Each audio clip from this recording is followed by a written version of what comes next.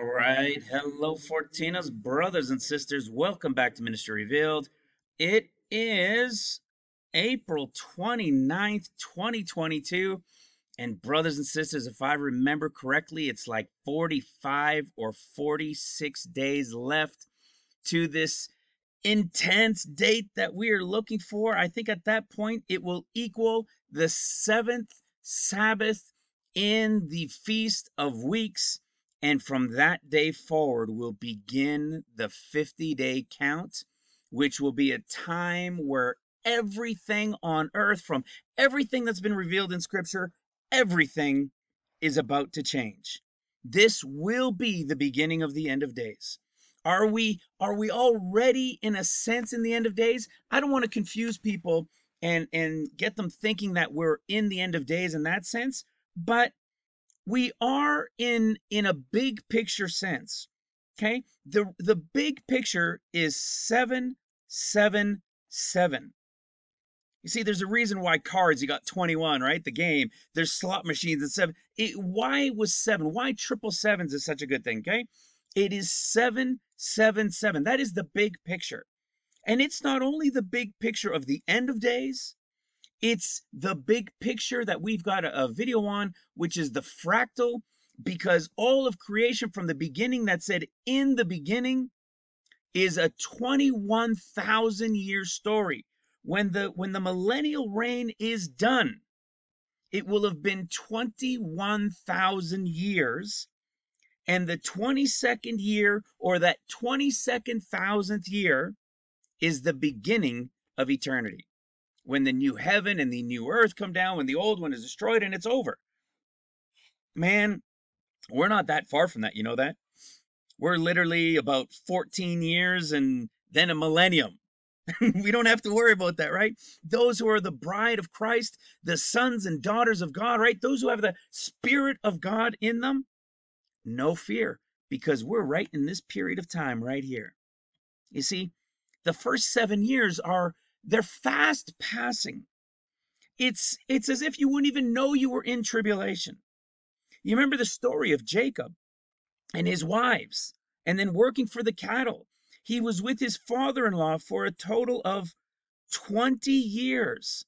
And when the 20 years was over, at the end of those 20, he made a covenant with his father in law in that final year. It's the story of creation. It's it's it's the story of the end of days. And it's all a fractal. The whole story is a fractal, is a fractal, is a fractal. It repeats and replays different characters with similar type situations the whole way through in the was, the is, and the is to come, played out over multiple scenes. You know, we're going to, as we go forward into today, we're going to be touching on some of those things because we are going to get into some deep stuff, but not not so deep that it's we're, we're going to go too far deep, but deep in the sense that as you see these things, knowing what you already know, you're going to begin as we go through the surface and a little bit below the surface of some of these things. You're going to see these these connections and these moments that are going to make you say, "What?" And that's why I was bringing up this this whole going all the way back to the creation because I'm so fascinated by it in in the revelation that we started receiving late last year in understanding the beginning all the way back to the word in the beginning which means in Christ God created in the beginning God created. Okay? That's going all the way back we saw that in John, right? John chapter 1 says he was in the beginning was the word. Then he was made light and then he was made flesh. That's the creation story. There was the beginning. Then he was made light and then the first Adam was made flesh. I'm not saying the first Adam was Christ, but he was made flesh, the first Adam. Okay, Christ is called the last Adam. It was beginning, which is the spirit realm. Then it was light, for the light realm, and then it was flesh. And where are we living now, brothers and sisters? We are living in the time of flesh. We've talked about this before, and we're going to talk a little bit more about that today as we go in. But we're going to cover a, a, a, couple of things before that that are really just awesome connections and will lead us right into this. It's so exciting. I I love going into that creation story deeper now, in, into the creation stories deeper. Now that we know who the Gospels are speaking to, right? And for those in this ministry that don't know what I'm talking about, when I say who the Gospels are speaking to, you you want to come to watch this. Okay? This playlist right here called the End Time called the End Time Study Note series. Let me just stop this for a sec. This is what we call the intro series that we want to introduce to everybody. Anybody that's new, anybody that's just beginning to understand there was a reason why there are so many so many confusing stories within the revelation or within the gospels you know, why does one say this and one say this and one say this, but it's supposed to be the same story? We've told we've been told all our lives it's just different perspectives, but it didn't explain away everything.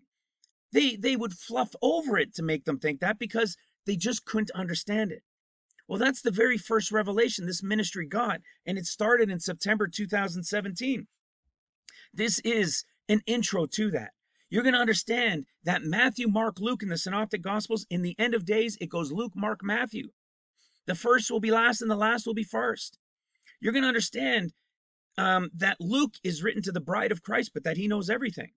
You're going to understand that Mark is written to the sleeping church. And some people say, well, scripture doesn't say there's sleeping church. You know what it does say?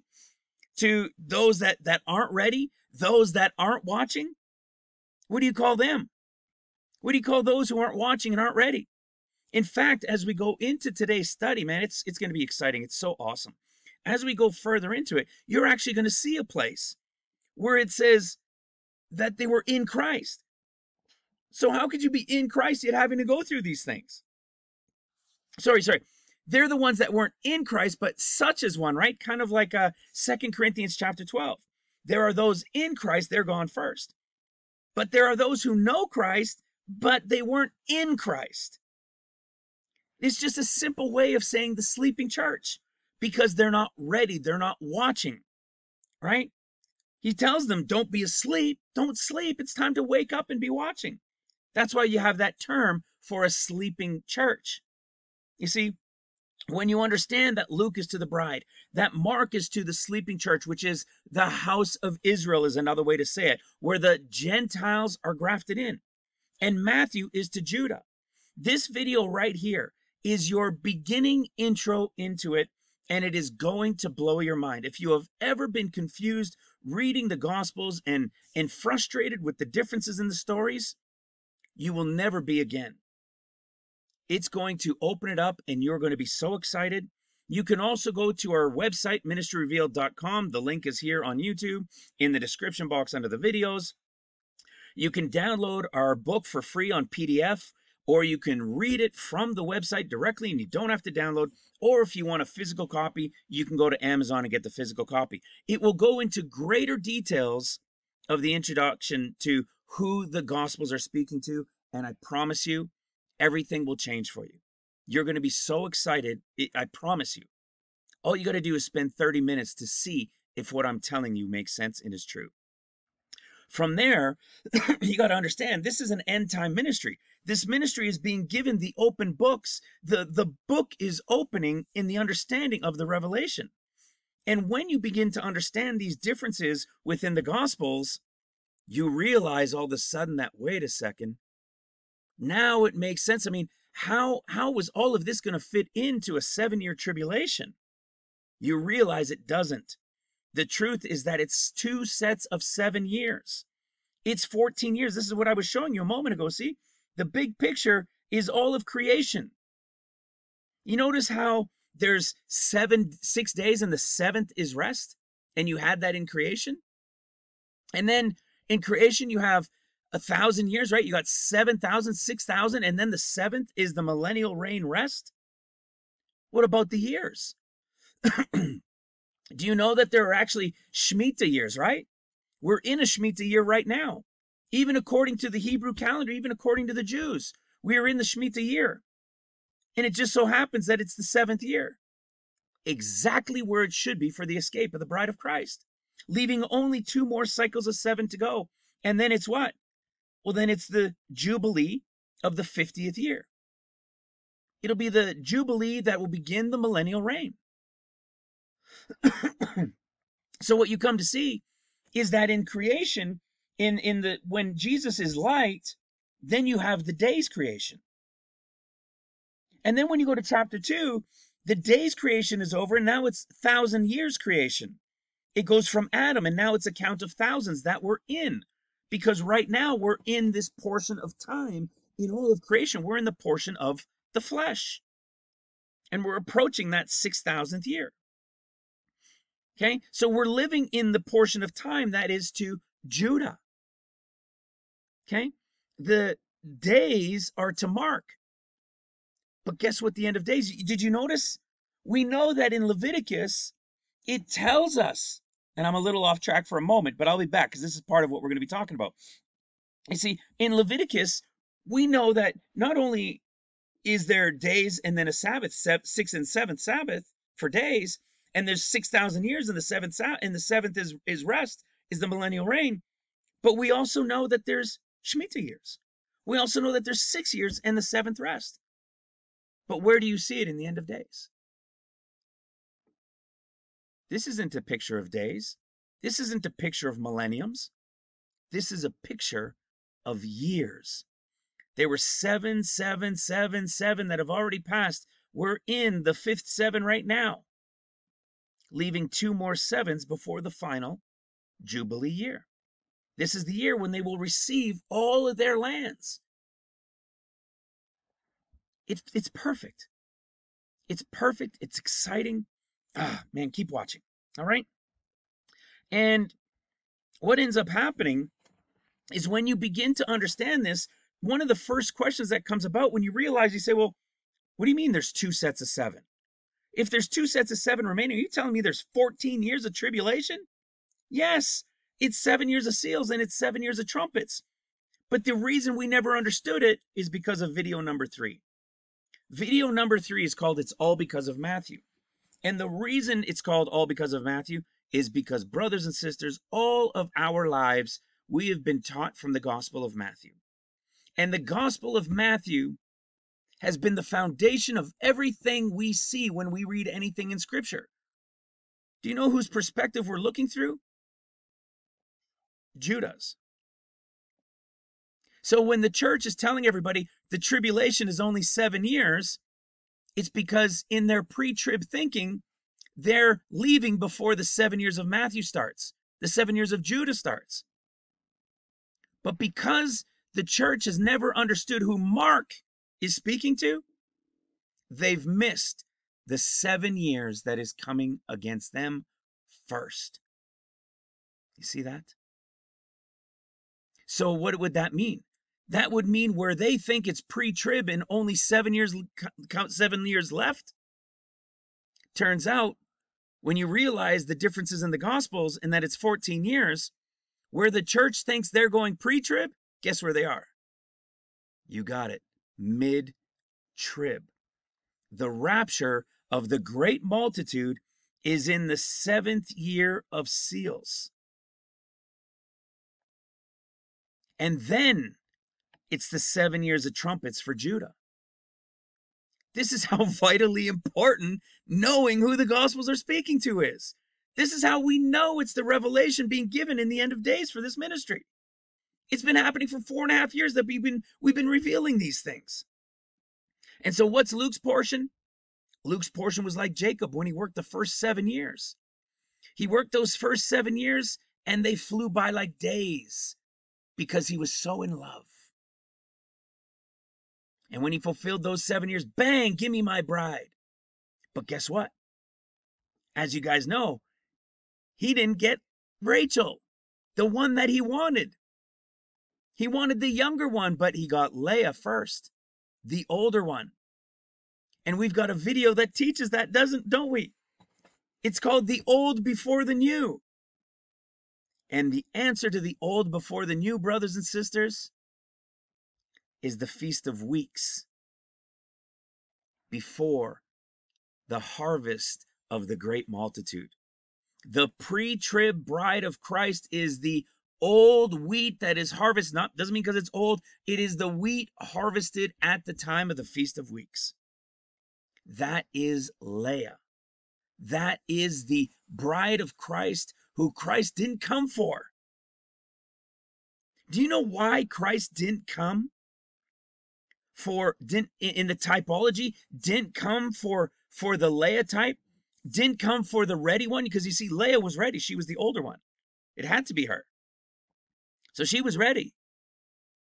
Do you know when Christ came in the same typology? He said he only came for the for uh, um for for the lost sheep of the house of Israel. Why not the found? Because they were already ready. He didn't come for the ready. They're already ready. He came for the what? I said this a moment ago. He came for the what? The lost. The lost must mean they were his. And they've stumbled and staggered along the way, being drunken and caught up in the things of this world. You follow? That's who he came for. That's his Rachel. That's who he's going to get at the time of the rapture. But Leah, the older, who was prepared, watching, and ready, who is his most loyal and devout, is going to go first. Brothers, all this and more in today's video and revealed for all of you guys in this intro series. It will blow your mind. All right. So let's get back to this as I was already touching on some of the things we're going to be going into. But man, guys, you guys share so much with me.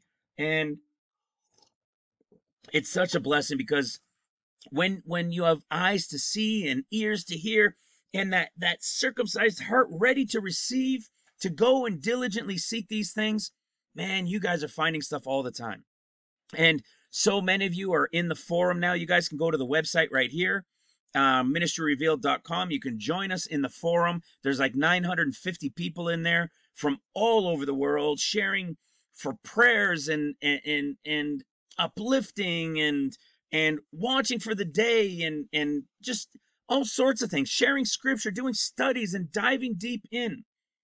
And many of you guys have been sharing in there. And um, you know, it doesn't cost anybody, just so if anybody's wondering, anybody can come in and join. It's just a bunch of like-minded brothers and sisters watching and seeking the Lord and doing it together until that time. And you know, with there's with so many things that you guys share, like I'm looking into this one uh, our sister Julie had shared this one with me the alabaster box and how it's spoken differently within the stories before and after within Matthew, Mark, and Luke. Another sister has shared the difference with why the word exchange is only in Mark and Matthew, not in Luke, and the context of it.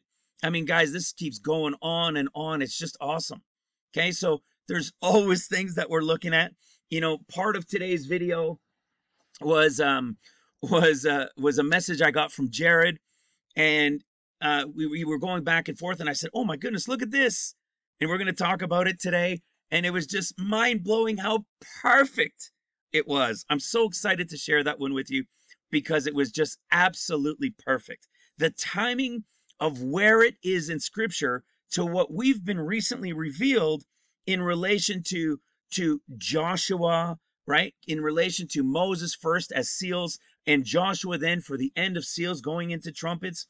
I mean, it's it's incredible. There's that video, old before new. The the fractal video is down here. I mean, it's awesome. We're going to cover and talk about a lot of these things today. And so I'm going to share that one. That one was something with Jared. And then I went in and was digging and found something. I, I sent him a message back and he says, Of course, you know, it, it's so perfect. And then if I was talking with Mike from uh, Interrupts 165, and he's he's digging more into this creature, right? This second portion of creation, the creature in the creation of days. And while we're talking, I do a search on the word creation. Now, I could have done the search on created, create something, but I chose the word creation. I don't know why. I just we were looking at these things with creature and and the Lord saying that you know uh, um uh, uh, be made a new creature or creation. And so I'm looking it up and I type in the in a blue letter Bible search the word creation. And my jaw hit the floor. I was like, what? And I'm telling Mike, and he's like, what? I, I almost thought I spelt it wrong. It didn't make sense to me that the word creation is only found six times in the Bible. And where it's found is going to blow your mind because the wording of it and where it's found is 100% accurate to the Gospels as to who it's speaking to and when in relation to creation and the groups in the end of days. It's going to blow your minds. this is how exciting it is, guys.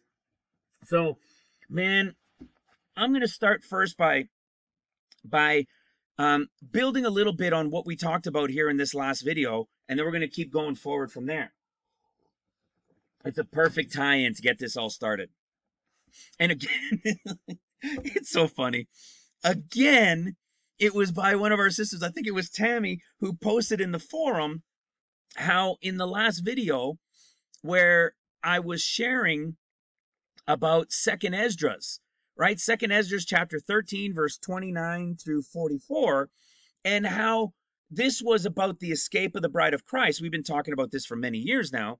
And this is the time of seals, and this is the time of the end of seals. And and we spoke about Shalmaneser and where it was in scripture and the connection to it, and that they fled, right? Shalmaneser, king of the Assyrians, is this typology of the Antichrist, and they're going to flee into the wilderness and the Lord is going to dry up the rivers. He's going to stop the channels of the river so that they can pass over. And we know that this means pass over, as in at the time of Passover, just like it was with Moses. And that's what we were sharing in the last video for part of the teaching. And I explained that the Lord will do it again when they're returning, but I never showed you where it was typed on here. We'll check it out. I was sharing about it in this last video at one of the portions, and this is what Tammy had shared the rest of the imagery. There it is. And so it says, listen to this. Um, this is when they had to flee into the wilderness. And what we know here in this ministry is this portion that it's talking about when they had to flee from that Antichrist type character. It's going to be about two and a half years into seals. This is when they flee into the wilderness. In fact, it's so awesome. This chart is called the chapters to years. And it's so awesome. You can go into John chapter 10 and it talks about, and if another comes in, but not through the gate, right? He's the imposter. Uh, uh, he's a, there's a wolf and so forth. That all starts in John chapter 10.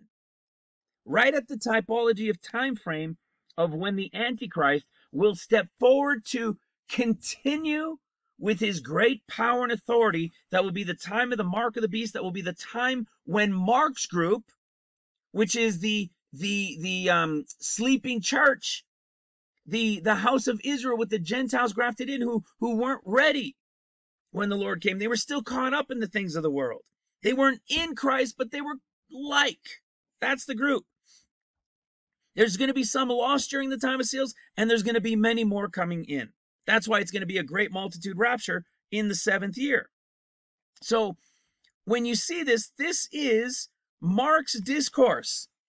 This second, in the third year, which is two and a half years in approximately, is when the Antichrist is going to get his power to continue for 42 months to the end of the sixth year of seals when he's then destroyed. So what you see in Mark is the group who flees into the wilderness and it's the Moses typology.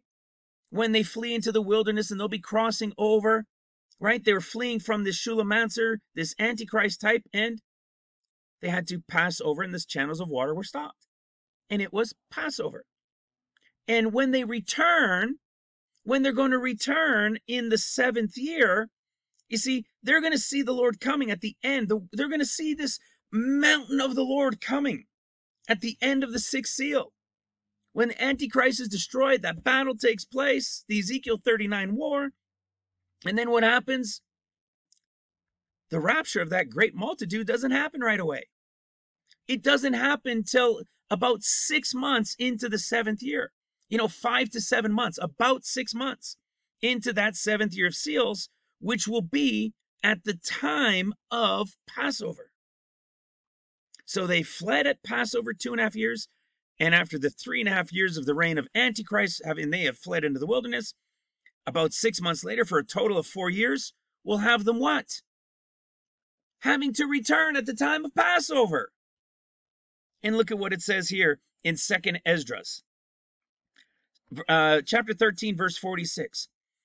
Then they dwelt there until the last times. This is prophecy, brothers and sisters. Yes, it took place, but yes, it's prophetic, just like we've been showing. It's the exact same story of the end of uh, of Deuteronomy, of the end of Moses going into the time of the beginning of uh, uh, of Joshua taking over, Yeshua taking over. And they shall uh, then they dwelt there until the last times, and now when they are about to come again, the Most High will stop the channels of the river again so that they may be able to pass over, because it will be Passover again. Therefore, you saw the multitude gathered together in peace. Who are they? The ones up here. And as for you seeing him gather unto himself mul- another multitude that was peaceable, these are the 10 tribes which were led away. Who are the 10 tribes, brothers and sisters? The church, the house of Israel, grafted with the Gentiles. It's so perfect. It is so awesome. It proves the revelation that we've been showing the whole time. Watch this. Watch this with um with Joshua now.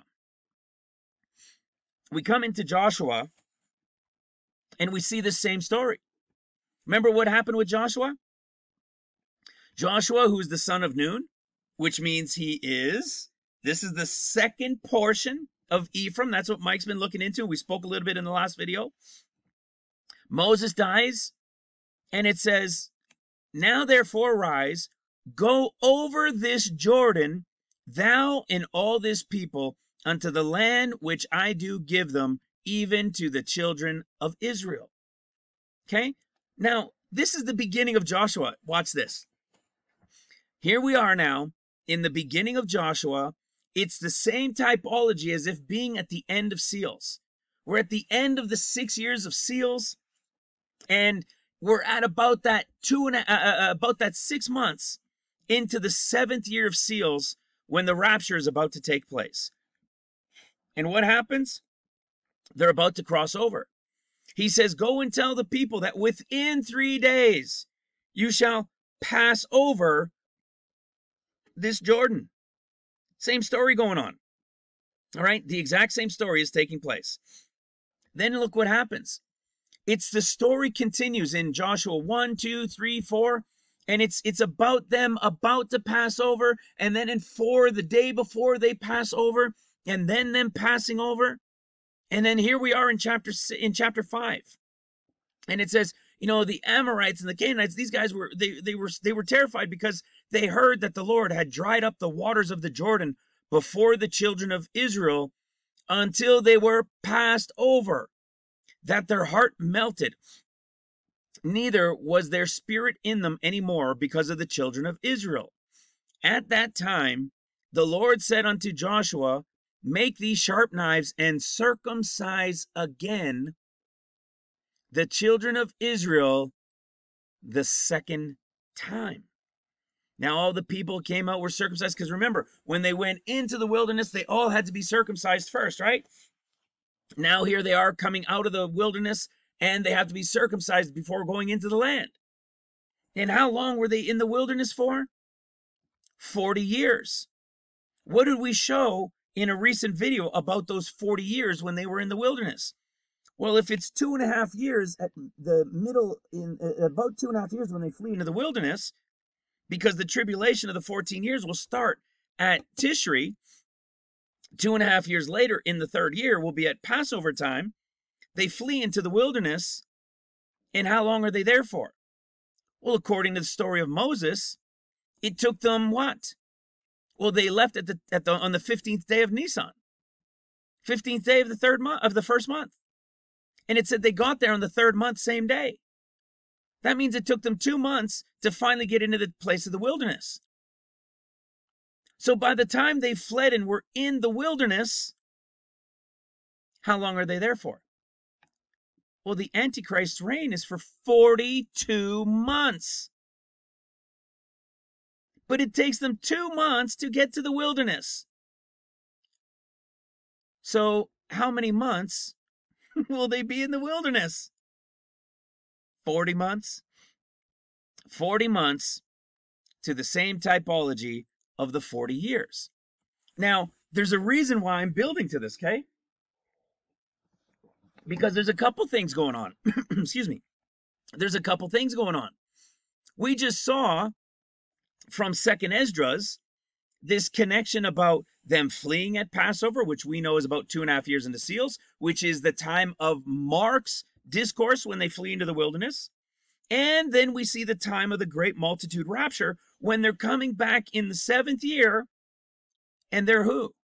Well, they're not the old wheat. Okay, Leah was already taken first. This is the rapture of the new wheat, which is harvested in the fall, but cannot be used and brought in until the second day of Passover.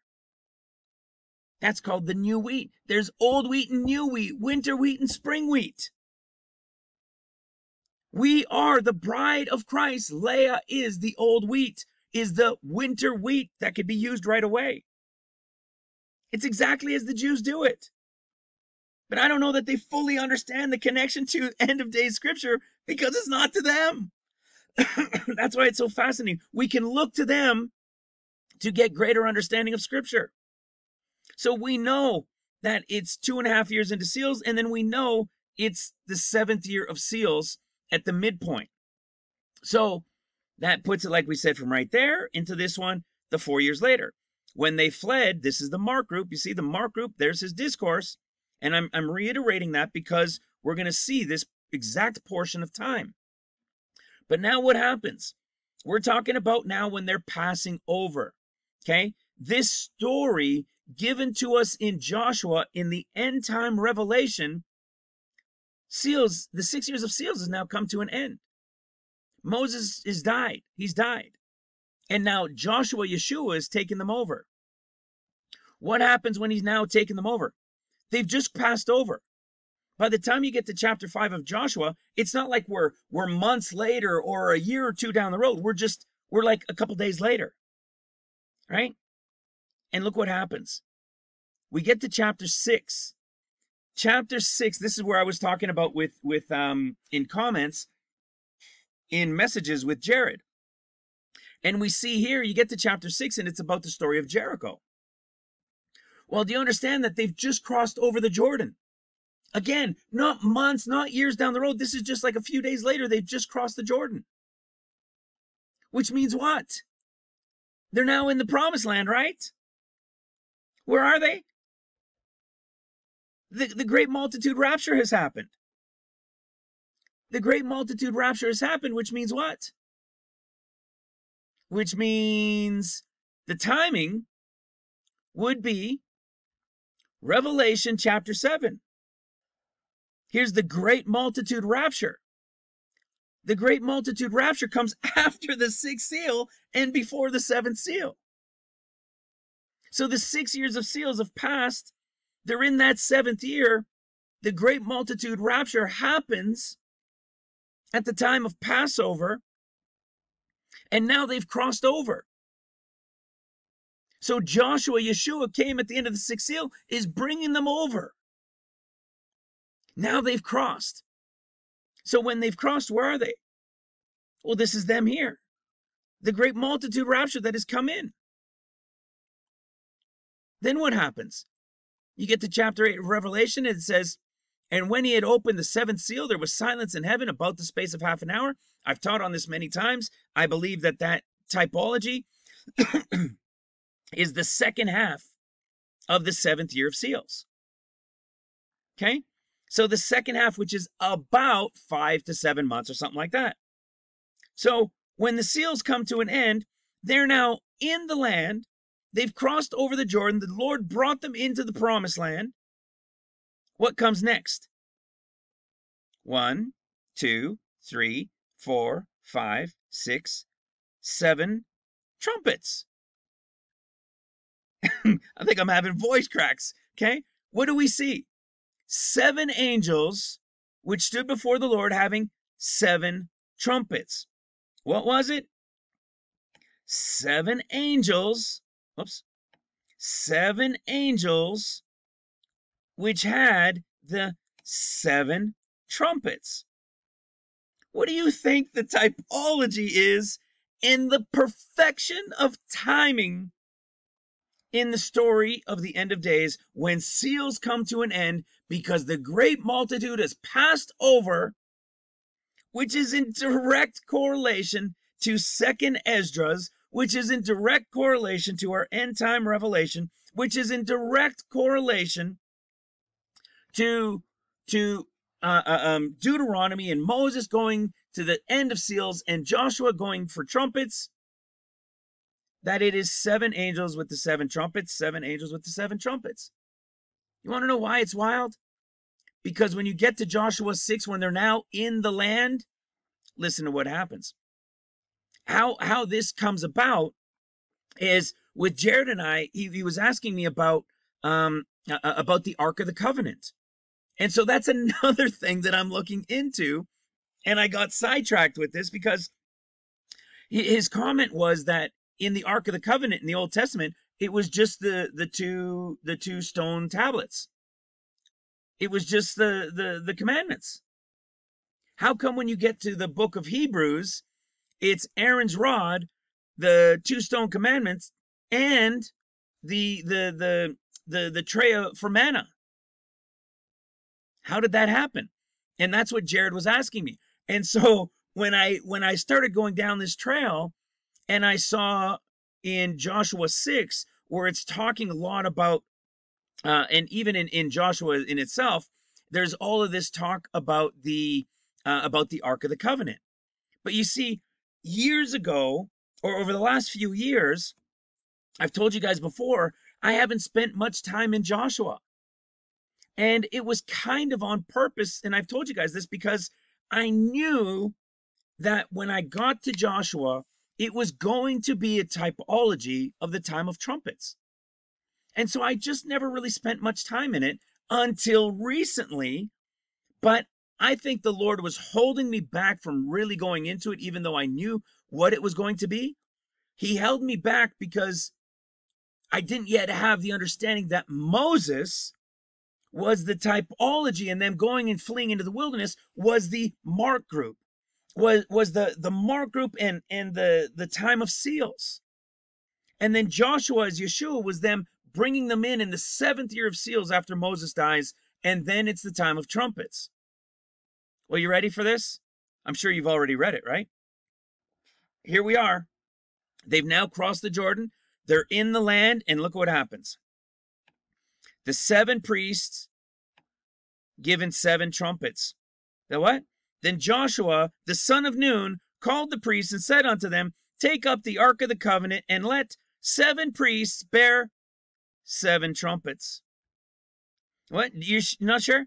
Seven priests bearing the seven trumpets. oh, you're still not sure?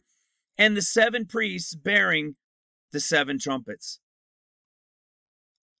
Guys, do you understand how much more confirmation all this stuff is?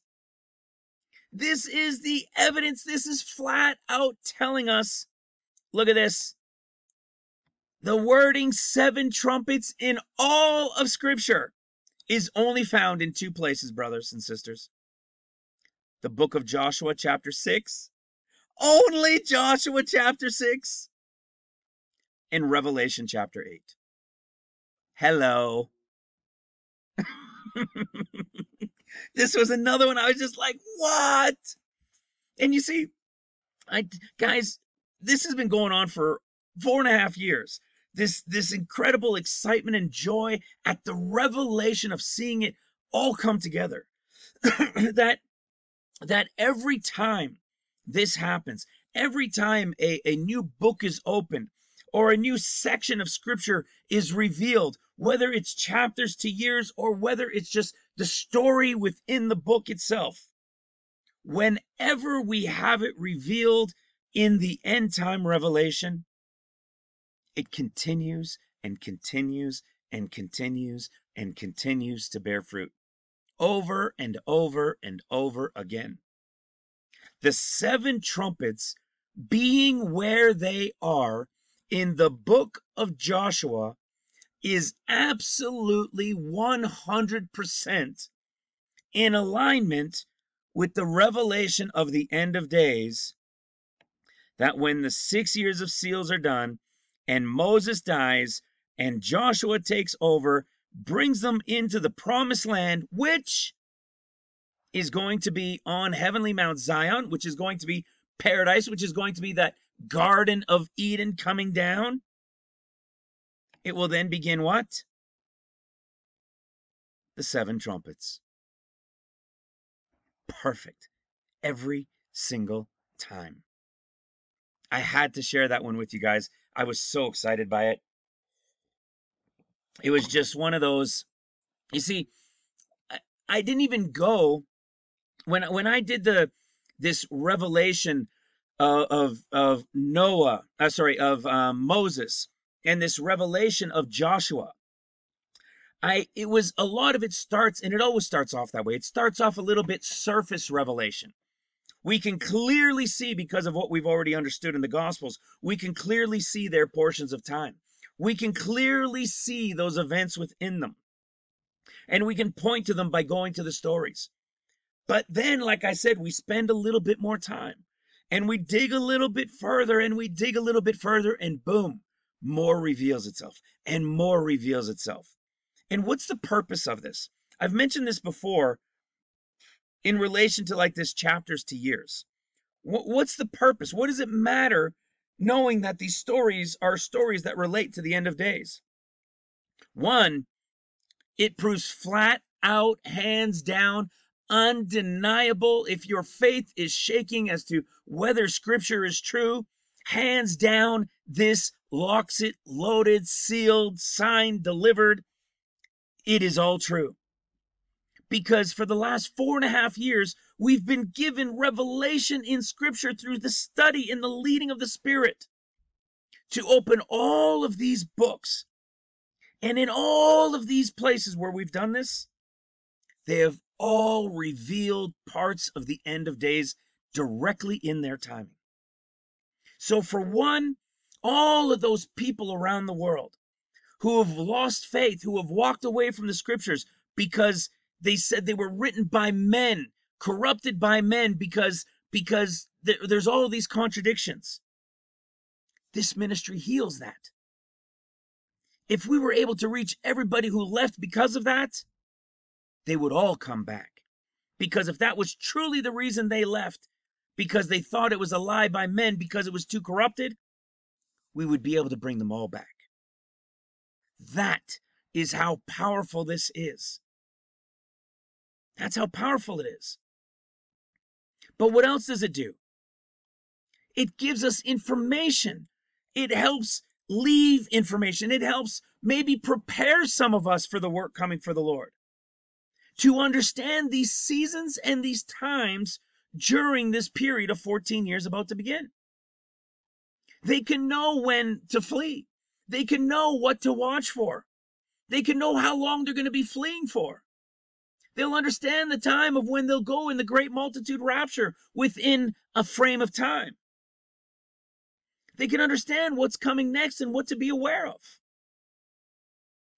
It's almost like this is something the prophets might use because if they're given this information, plus with what the Lord will, will conclude by giving them,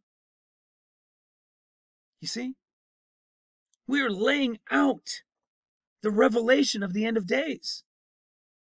This ministry is the roadmap of the end of days, and all of the little tidbits can be pulled from these chapters and verses of information that is within them that relate to each of the years during the tribulation. that is gangbusters awesome. That it's killer, man. And when you understand it, most of you get just as excited as I do. Maybe in a in a quiet, reserved way, maybe in a in a shouting to everybody way. We're all on our different spectrums of excitement and how we how we voice it.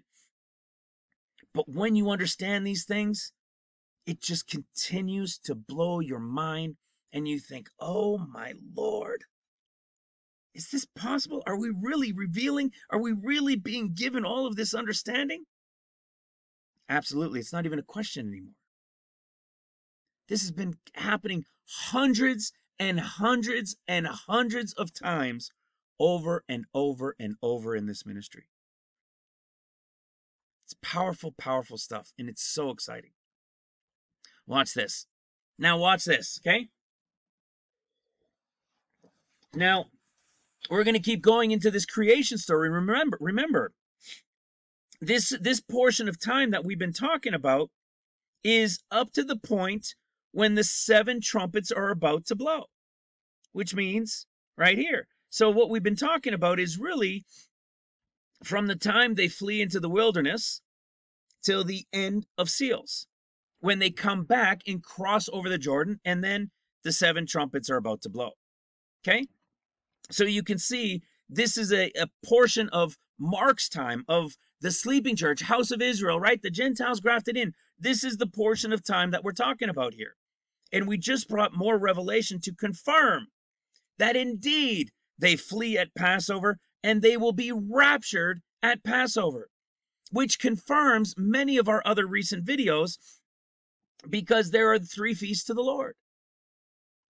And the three feasts of the Lord, of course, are Passover, Feast of Weeks, and Tabernacles. But the first isn't Passover. We've revealed that it's the Feast of Weeks. In the beginning, well, the beginning was Taurus. The beginning was where now Sivan is. That is the beginning. That is also where the Lord God made his first covenant with man. That is the harvest of wheat, the winter wheat harvest, which is the old that can be taken and used right away. That is Leah, the old that goes before the new.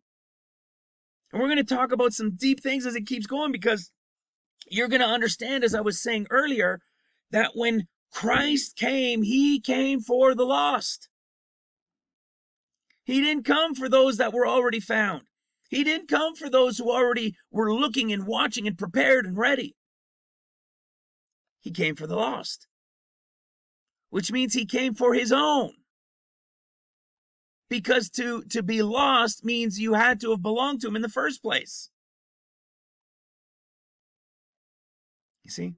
So then why, if he's coming for the Mark group, why is the bride going first? Why is the Leah, the old, going first? Because that portion of time is coming to an end. It is over. That's why the bride must be taken out first.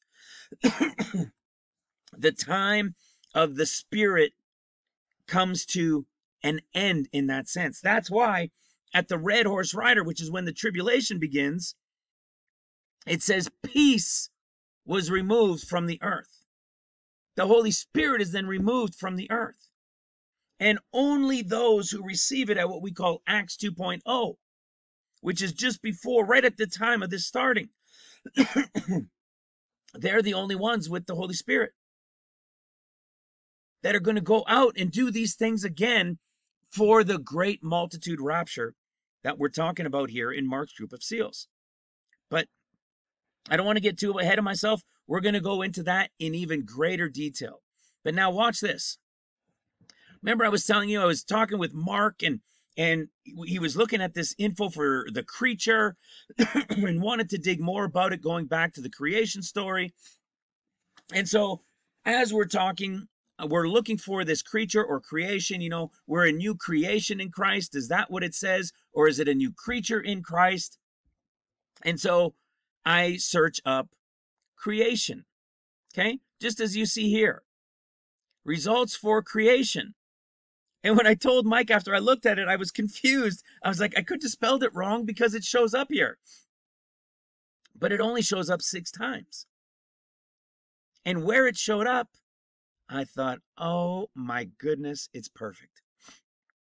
Ready for this? Ta da! The word creation in all of Scripture, Old Testament and New Testament, not the word created or those different variations, but the word creation. It's not, not only is it not only missing from the book of Genesis, where the creation is, it's not even found in any of the Old Testament. It's found six times in the entire scripture. And look at the gospel it's found in. Boom! Perfect! When I saw this, after I finished scratching my head saying, What? When I saw where it was and I was talking to Mike and explaining where it was, it was awesome. Because the only place the word is found is in the Gospel of Mark, which is 100% accurate. Watch this. Now I said, well, what if I look up the actual word? Like, what's the word definition? Okay, for the word creation. Well, when you go look up the word for, for creation, it's the Strong's word 2937. So it's in the Greek. So you're only going to get now in the New Testament. But it's not only the creation that we found here that's only six times, it's also creature found 11 times. Do you know why? Because the creature is from that portion of creation. New people, you're going to be scratching your heads on this one. But if you watch some of these older videos where we start to reveal this, it's going to blow your mind and it starts to get heavy. And then we're going to go even a little deeper and heavier. Watch this creature and creation. So now, maybe with all of these options, we'll see it in you know, in Mark or Luke or or we'll see it, you know, somewhere in other gospels. Well, guess what? No. You see it in one more spot in Mark in relation to creature instead of creation and creation. All three places that relate to the creation of the world. What's the world, brothers and sisters? What's the world? It's the house of Israel and the Gentiles grafted in. It was the creation of days. Right? It was the creation during the days. This is awesome. Are you ready for this? Let's go to Mark chapter 6, okay? Uh, Mark chapter 10. See? Creation, Mark chapter 10, verse 6. The only place this is worded in the New Testament is in the Gospel of Mark. If we look at the chapters to years, you see Mark? Mark is the typology of seals, is Moses' time. This is in the creation story. We've been teaching that Mark's portion is the creation that was during the days, right? The creation of days one, two, three, four, five, six, seventh day the Lord rested. It's the Mark portion. Well, let's see if that's true. What does it say? Mark 10, verse 6. Go to Mark 10, verse 6. But from the beginning of the creation, God made them male and female.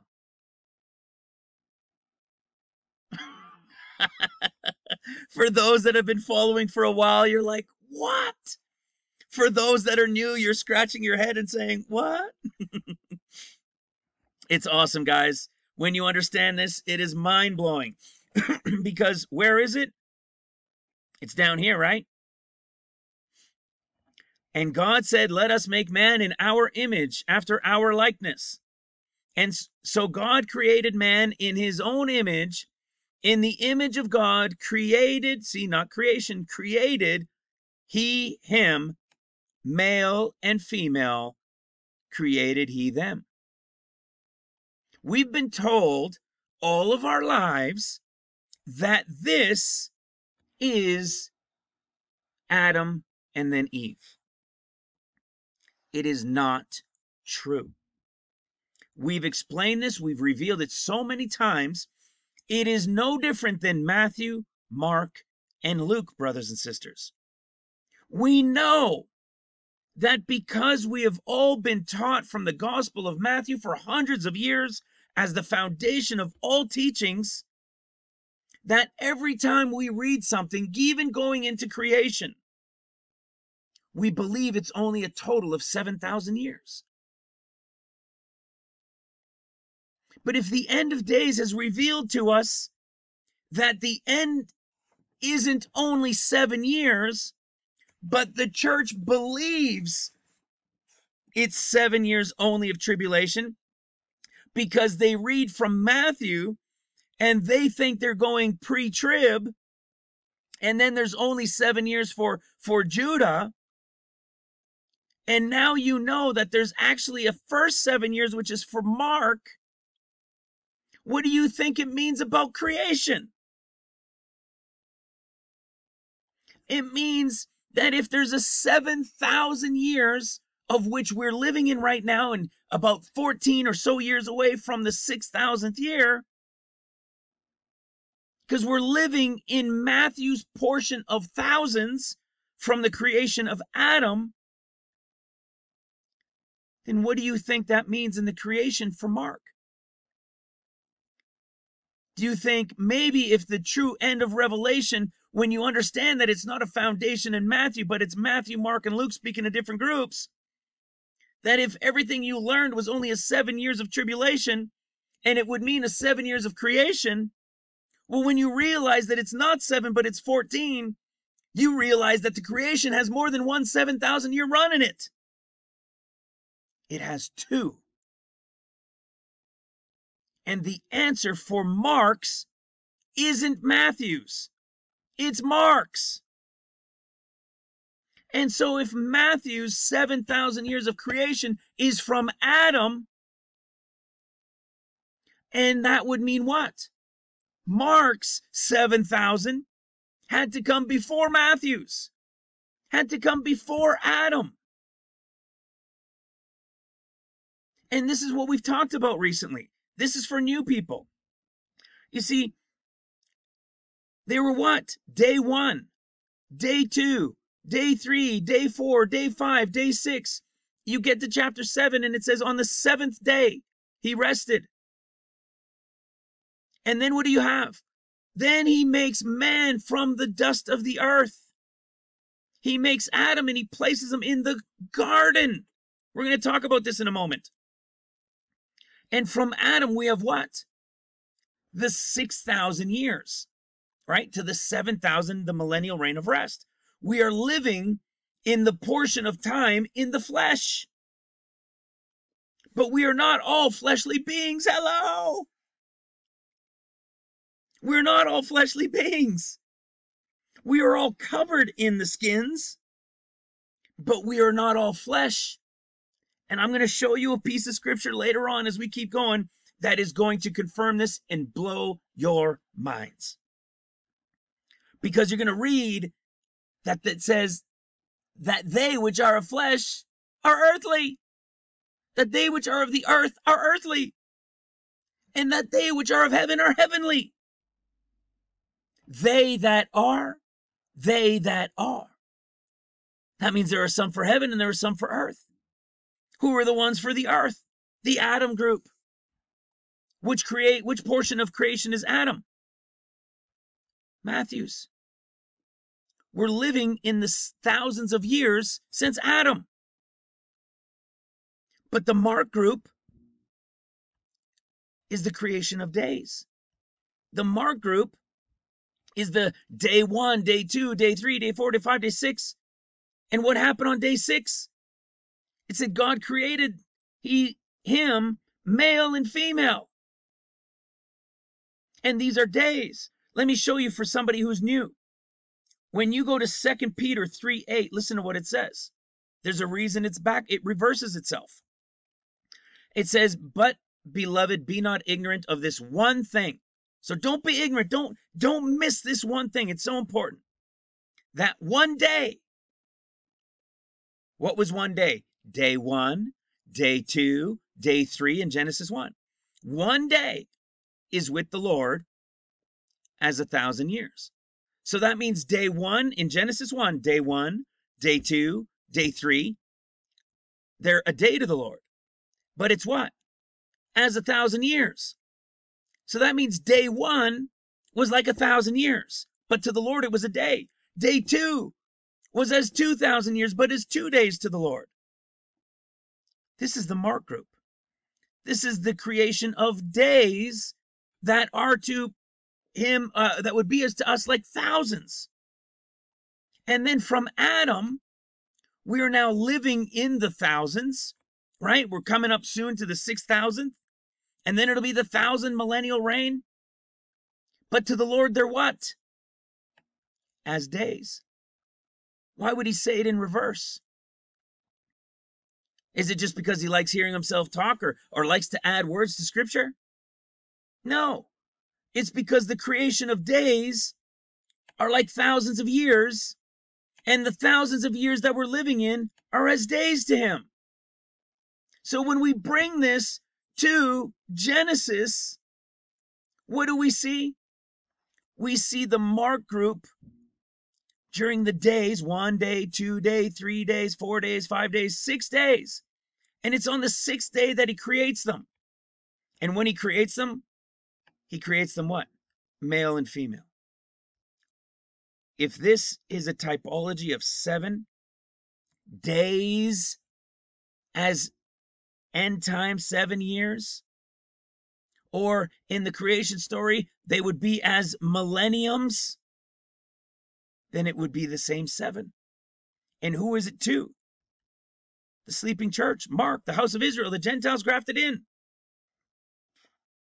And what did we find about this creation story? This creation that's only found in Mark is telling us that it's the Mark group when he created them, male and female, in Genesis 1. Did you follow that? Did you follow that? So what does that mean? What is what does that do for the next seven? Well, what happens when you go to Genesis chapter 2? You have now Adam who's created. Adam is formed from the dust of the earth. He is the first what? Fleshly man. It is the beginning of flesh. And from Adam till even now, where we're in, we are living in the thousands, but unto the Lord they're as days. What does it all equal? Seven and seven. They are days to the Lord and days to the Lord. Thousands in the creation. If man was there visualizing it, seeing it, it'd be 7,000 to him. And then there's the 7,000 years that we're living in right now. Do you know what wasn't there? We just talked about the days to the Lord. So this is seven days of creation, 7,000, but they're all to the Lord like days. So it'd be like seven days and seven days. But to man, it would be 7,000 and 7,000. What's missing? Where's the years? Where's our year count? We have a day count of seven and seven. We have millenniums confirmed also in 2 Peter 3 8 as 7,000 and 7,000. So we have days, we have millenniums, but where's the years? Right here, brothers and sisters, right here. They are the end of days, years. They are the typology of creation to the end. They are the typology of creation from in the beginning of the millennial reign all the way to the end. It's the whole story. But you notice we're missing Luke, aren't we? We talked about this before. We're missing Luke. You notice before all this revelation came to us about creation, We never had anything here for Luke, just the big picture count, like Jacob's story. Do you know why we didn't have anything? Because these seven passed by like days. They're not tribulation, but they are part of the big picture count from creation. This is why when we go, as you guys know who've been following for a bit, this is why when we go to Genesis 1, we see days 1, 2, 3, 4, 5, 6, 7. We go to chapter 2, we see the thousands that were in. We know that the thousands for, for the creation of man, which is the flesh, is the thousands that were in, and they're God's chosen people. This is why we're to pray for the Jews. This is why the Old Testament and everything is the story about the Jews. Because we're in their portion of time. But we're not all flesh. It is the Jews who are the flesh. They are earthly of the earth. We and the church, the bride and the church, are covered in skins. But we are not earthly, we are heavenly. You see, so what did we get? We, we've got the days, we've got the thousands. But for those that are new, there's this theory that we've proven in this ministry and this theory that's been around for hundreds of years called the gap creation theory is believed that Genesis 1 verse 1 and 2 is is is a way to explain hundreds of millions or billions of years and dinosaurs and everything else. It's not true. This gap theory right here is the first 7 right here. Everything is a fractal. It is all a bigger to a smaller to a smaller to a smaller. It's the entire revelation. It's why it's why Jacob said that those first 7 flew by like days. Why did he say they flew by like days? Because he was so in love and so excited to work for his bride. Why do we just have this short little blip of two verses for the first creation portion? Because it was Christ who was beginning to create. And he was so excited, it flew by. That's the answer. What was this first creation? It was those, as we've taught before, with the Spirit of God. It was the Spirit of God who moved over the face of the waters. And we know that waters can represent people. Now, does it mean there were people there? No, no. It was the spirit realm. And we've we've said this before, right? Those who have the spirit of God, they are the sons of God. Okay? So here we are looking at this word for creation, this word for creature, and we find it only in Mark. Do you know what the chances are that the only place it's found is Mark and it relates to the exact place that we've been saying that the day's creation that would be as thousands is to the Mark group who Christ created? You see that? Now, did Christ create everything? Yes, he was over everything. But what was he? Christ was the firstborn over every creature. So, what was he in creation? He was the beginning. He was the Word. He was the beginning, the creation over the spirit realm. Then he was made light. When he was made light, this is that special creation for him. Because you know what happened here? These guys got corrupted. The creature became more worshiped than the creator. That's what we read in Romans. This is when the creature was created, the male and the female. Christ was the true light who was over the entirety of these creation of days that would be as thousands. This is the representation of Mark. This is the representation of the house of Israel, of the Gentiles grafted in the sleeping church, that he's coming to save. This was the group corrupted by the false light. it's perfect. Why? Because Christ was made light. He was the Word in the beginning. Then he was made light. And when he was made light, there was corruption with a false light, wasn't there?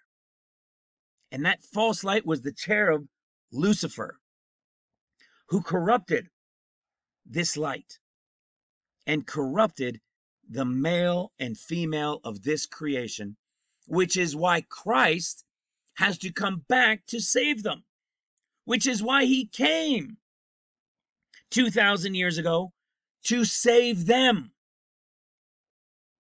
And when he comes at the end, the reason they're going through this tribulation of seals is because they're still lost. There's still a final portion that needs to come in. And they weren't ready. That's why they're going through seals. That's the Mark group going through seals. And the Antichrist, who is the Lucifer type, that'll be over them. When the mid portion comes and they flee to the wilderness. Don't believe me? Are you ready for this?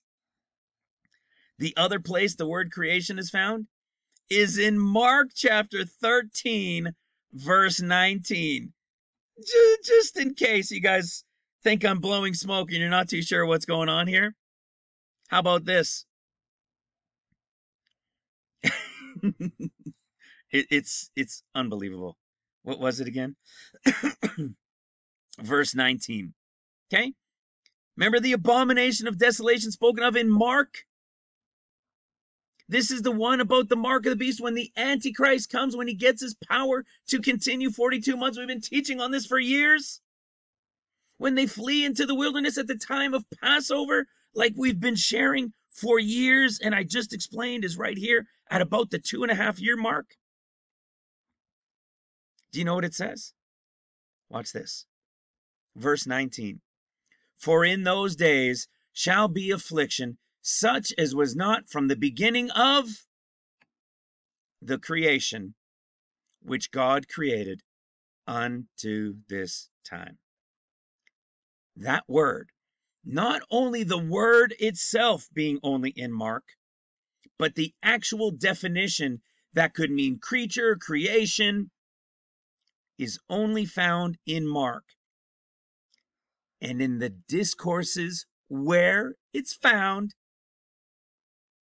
is exactly the same reference to the males and females in the creation of days that got corrupted by the false light of Lucifer, who is the typology of Antichrist in the end of days against the house of Israel, against the church, the world, during the time of seals. And the other place we find the word is at the midpoint of seals. When the one who is the embodiment of Lucifer, the false light, comes onto the scene during Luke's discourse? No. During Matthew's discourse? No. During Mark's discourse. Are you understanding what's being revealed here? ah, I love it. I love it. it, it it blows my mind. It blows my mind how awesome this is, how much the Spirit has given us and led us into understanding.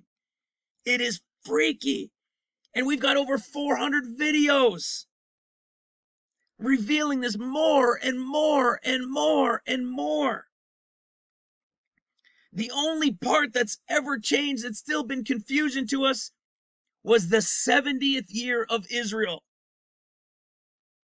That's that's that's the that's the thing that may turn some people away.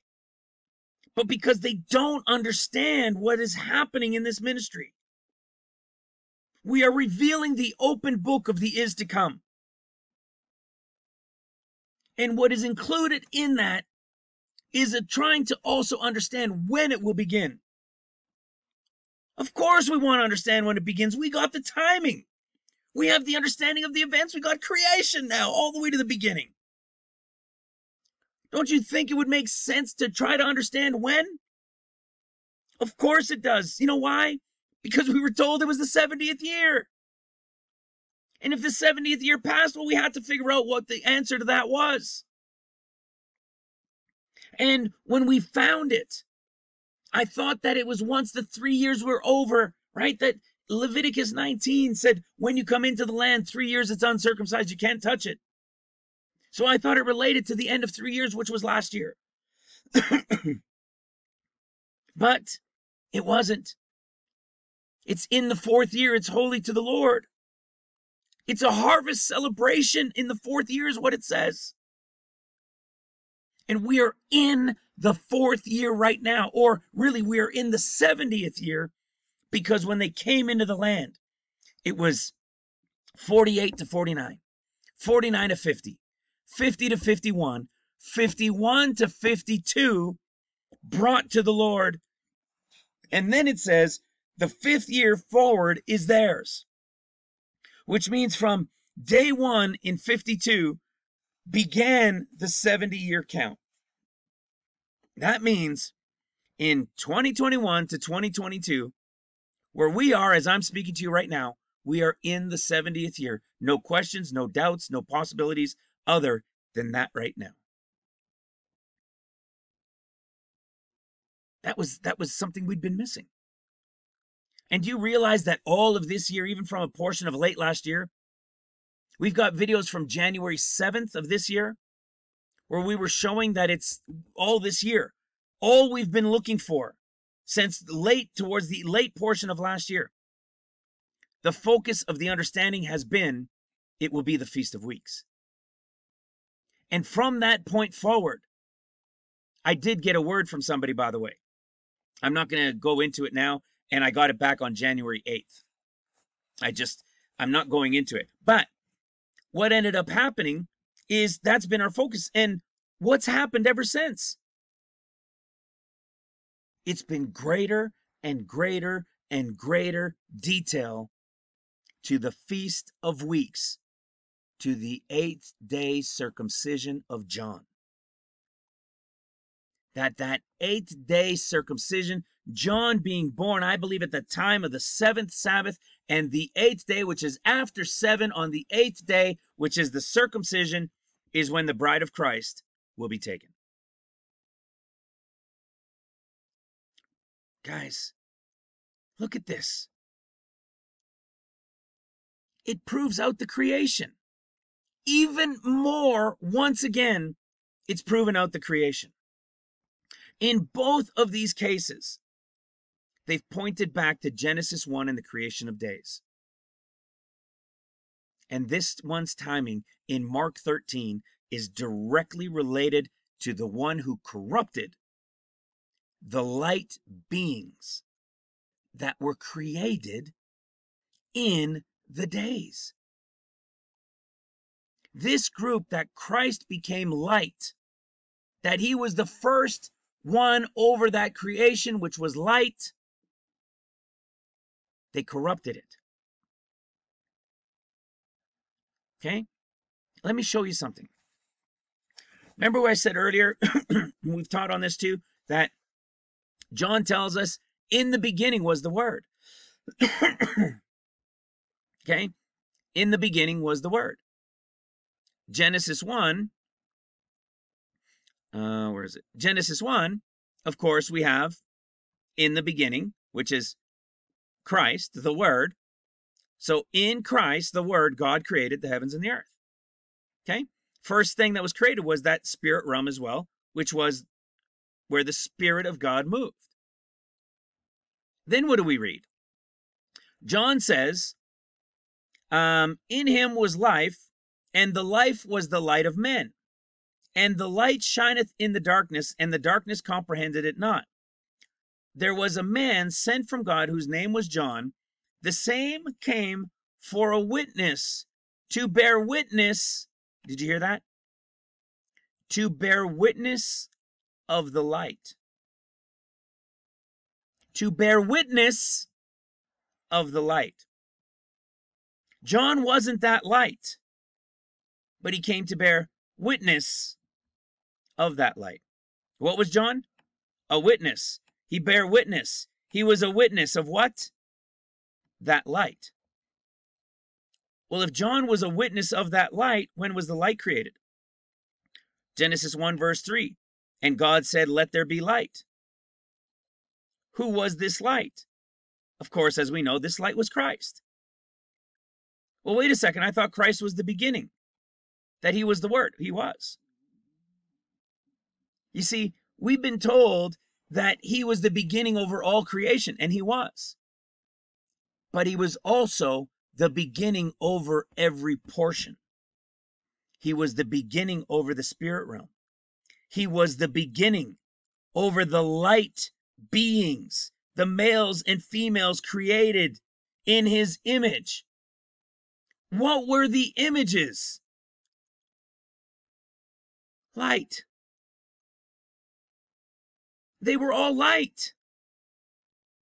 Maybe some sort of being thing underneath, but they were light. Christ was light. We know this by the enemy because the one who corrupted them was what? The false light. He was also light. What do you think these guys were? This creation, this mark group, this creation that got corrupted by Lucifer, that Christ had returned to save when he came in the flesh. He was coming to save this group that got lost from the creation. In the days, this same typology is the mark group. And guess what? There's Christ when he came as light. When he came as light, John was not that light. But what was he? He was a witness of that light. So if John was a witness, let's go to Genesis 1. If John was a witness, which means he already had to be there, a witness can't show up later. Okay? A witness shows up first. And what do we know about John? John was born before Christ. So John was a witness to the light. The only way John could have been a witness to the light is if he was part of the beginning, which means John had to be part of the group that had the Spirit of God in him. How else could he bear witness of the light when we look at the typology in creation? Do you know how? We know exactly how. Because in Luke chapter 1, we have John the Baptist who is born, right? John the Baptist is born. We know that after he's born, we read about his circumcision on the eighth day. On John's circumcision on the eighth day, so if he's born around this time right here, the eighth day, right there, this whole circuit of the sun connection that we've been talking about, this is the time frame of the escape of the bride of Christ right here. Okay, depending where you live in the world. This is John's circumcision date. Okay, what do we know about John? Remember when Mary came, right? We know that John, uh, uh, Mary, uh, uh um, Elizabeth there it is right here. The babe leapt in her womb, and Elizabeth was what? Filled with the Holy Ghost. See? John had what in him from birth? John had the Spirit of God. So from birth, John had the Spirit of God who was able and was there before Christ to bear witness of him being the light. Brothers and sisters, who is the typology of the bride of Christ that we've been teaching for the last few years? John the Baptist. John the Baptist in Luke chapter 1 at his birth. This is exactly what we've been teaching for like three years. That the eighth day, at John the Baptist's circumcision on the eighth day, John's father was, his mouth was loosed. And what does he say? Blessed be the Lord God of Israel, for he hath visited and redeemed his people. Do you know what happens after the bride? This this Luke in order one, two, three, four that we've been teaching for years now, two, two and a half, three years. What happens when we get to Luke chapter two? And you have this typology of the Son of Man here for 40 days in the typology of his birth. What do we end up finding out? That he is going to be what? A light to lighten the Gentiles. Who's first? Those who have the Spirit of God, who are of witness to Him being light. And when the bride is taken, when the John typology is taken, those who have the Spirit of God are gone. The Son of Man is here for 40 days, and what is he? A light to lighten the Gentiles. A light to lighten the Gentiles and the glory of the people of Israel. It's the house of Israel and the Gentiles grafted in. Who are they? Mark's group. Those who need to be saved, those who still need to be rescued, those who need that light to be lit inside. Check this out. What do we know about John? We can hammer this out all day, guys. What do we know about the Gospel of John? 21 chapters as the 21,000 typology, but in the end of days, it plays out with things within it that we have taught on many times. We've got teachings devoted to it. What do we see? On chapter 8. What do we read in chapter 8? Let's go to John chapter 8. We've taught on this many times, but you're going to see something you've never seen or that you have never understood in this light before, pun intended. so, what do we see? We've talked about this many times, right? Jesus went. Jesus went under the Mount of Olives, and early in the morning he came again into the temple, and all the people came unto him, and he sat down and taught them. We know from Luke's discourse, watch this. We know from Luke's discourse it's the only one that ends like this. You see, those who will be accounted worthy to escape all these things and to stand before the Son of Man. Listen to what it says next. And in the daytime he was teaching in the temple, and in the night he went out in a boat in the mount that is called the Mount of Olives, and all the people came early in the morning to hear him in the temple.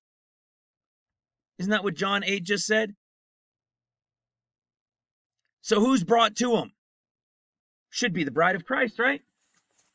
the typology should represent the Leah, those with the Spirit of God, before the portion of light begins. Listen to what it says. And the scribes and the Pharisees brought to him a woman taken in adultery. what does this mean, brothers and sisters? It just means the Gentile bride. That's what it means. Okay? Remember, for those that are new and haven't heard me say this before, what it means. It's like uh, uh, um, Ruth, Ruth by the kinsman redeemer, Ruth who is a Gentile. Okay, when you read, she says, why is it that you have such an interest in me, a stranger? The word stranger that she identifies herself as is an adulteress. Is it because she's some adultering whore? No. It's a it's an expression, believe it or not, for Gentiles. All right? Why is that an expression for Gentiles? Because we're living in the flesh portion of Judah. We are living in the portion of thousands to God's chosen people. And so Gentiles are dogs and adulterers because they don't know the ways, right? That's why they had to be grafted in. And so look what happens. They bring to him a woman caught in adultery. And we read this story. And Moses commanded in the law that she should be stoned. Jesus goes on and he says, um, So when they continued asking him, he lifted himself uh, and said unto them, He that is without sin among you, let him cast the first stone at her. Okay, who's the only one without sin? Christ. What do we believe this stone cast is coming? I believe we're going to see it at some point during this right here. And I specifically believe we're going to see it around here. I don't know if the bride is going to experience it hitting, but we're going to see it coming. As Luke 21 says, men's hearts failing them for fear of looking after those things coming upon the earth. And at that point, we're to lift up our heads, for our redemption draws nigh. Okay? And what does it say? Summertime. What's this right here? First day of summer. Hello. Hello. Okay? So this is that stone's cast. So again, the woman brought in adultery, the stone's cast. He stooped down on the ground and he's bent over, right? He's bent over, he stooped down on the ground and they're standing around him. And then they all leave feeling convicted, and only Jesus is left alone. And remember, he's bent over, almost like he's bent over on one knee, writing on the ground. And everybody's left. And when he looks up, the only person he's looking at is the woman. And Jesus was left alone, and the woman standing in the midst. This is a picture of the Gentile bride of Christ brought to the Lord, the timing of the stone's throw, and everything about to begin. We've been teaching this as the escape of the bride of Christ for about three years now, showing this revelation within the Gospel of Matthew, uh, uh, of uh, Matthew, not in in the Gospel of John. Well, guess what? We've read what comes next many times. But if this is the typology of the bride, who are those who have the Spirit of God, who are circumcised and are a witness to the light, but are the ones that have the Spirit, then that means the light must be next, right? Are you ready for this? The heading even says it I am the light of the world. Then Jesus spake again unto them, saying, I am the light of the world. Should I just stop the video right here? it's the creation story, guys. It's the creation story revealed in the end of days, revealed to the beginning, revealed in Luke in order. Those who have the Spirit of God are a witness to the light. They are removed before the light comes. The light coming when Christ comes in the end of days typology, when Christ is coming at the beginning for 40 days at the escape of the bride of Christ. He is coming for 40 days as the Son of Man. He's going to be rejected. But there will be some who will know who he is or will believe in him. But he's not going to be running around saying, I am Christ hear me roar. it's not going to happen. But he's going to be doing signs and wonders and miracles. And many will think he is Christ. But the vast majority of the church is going to call him Antichrist. Because they've all been taught from Matthew. And they think the first thing coming is Antichrist. Why? Because just like the Jews weren't ready when Christ came the first time because they were blinded, so is the church. Because their portion is seals, their portion is light. The bride has the Spirit of God in them, the church has the light. We are all living in the time of Adam, which is the flesh. And there are those of the flesh that are earthly and are meant to be. And there are those of the light covered in flesh who need to be awakened. And there are those who are of the spirit also covered in flesh. Because these two groups are both taken away. The fleshly group, the earthly group for those that are earthly remain on the earth. They're the ones who will be resurrected to live their promised millennial reign of peace on earth. Their heaven on earth not the kingdom of heaven. I mean, not the kingdom of God, but the kingdom of heaven. That is to Judah. That is to that's to the the the the, the Adam creation of the flesh at the time of paradise. Watch this. Let's keep going. Watch this, watch this, watch this. Here it is in Romans 8. Okay. This portion, we've shared this on Romans 8 a number of times, but let me refresh and we're going to add to it. In Romans 8, look at what we read. Therefore, starting in verse 1, usually we start further down. Listen to this. Therefore, uh, sorry, there is therefore now no condemnation to them which are in Christ Jesus, who walked not after the flesh, but after the Spirit.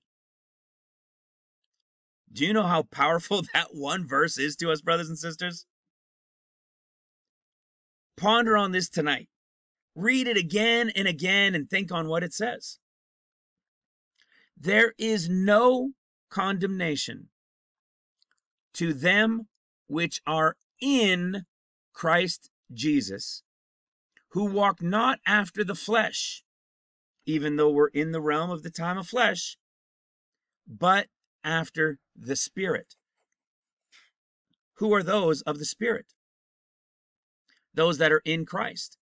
Let me show you who are those in Christ. Let's go to Second Corinthians 12. Remember, it's all in relation to the end of days.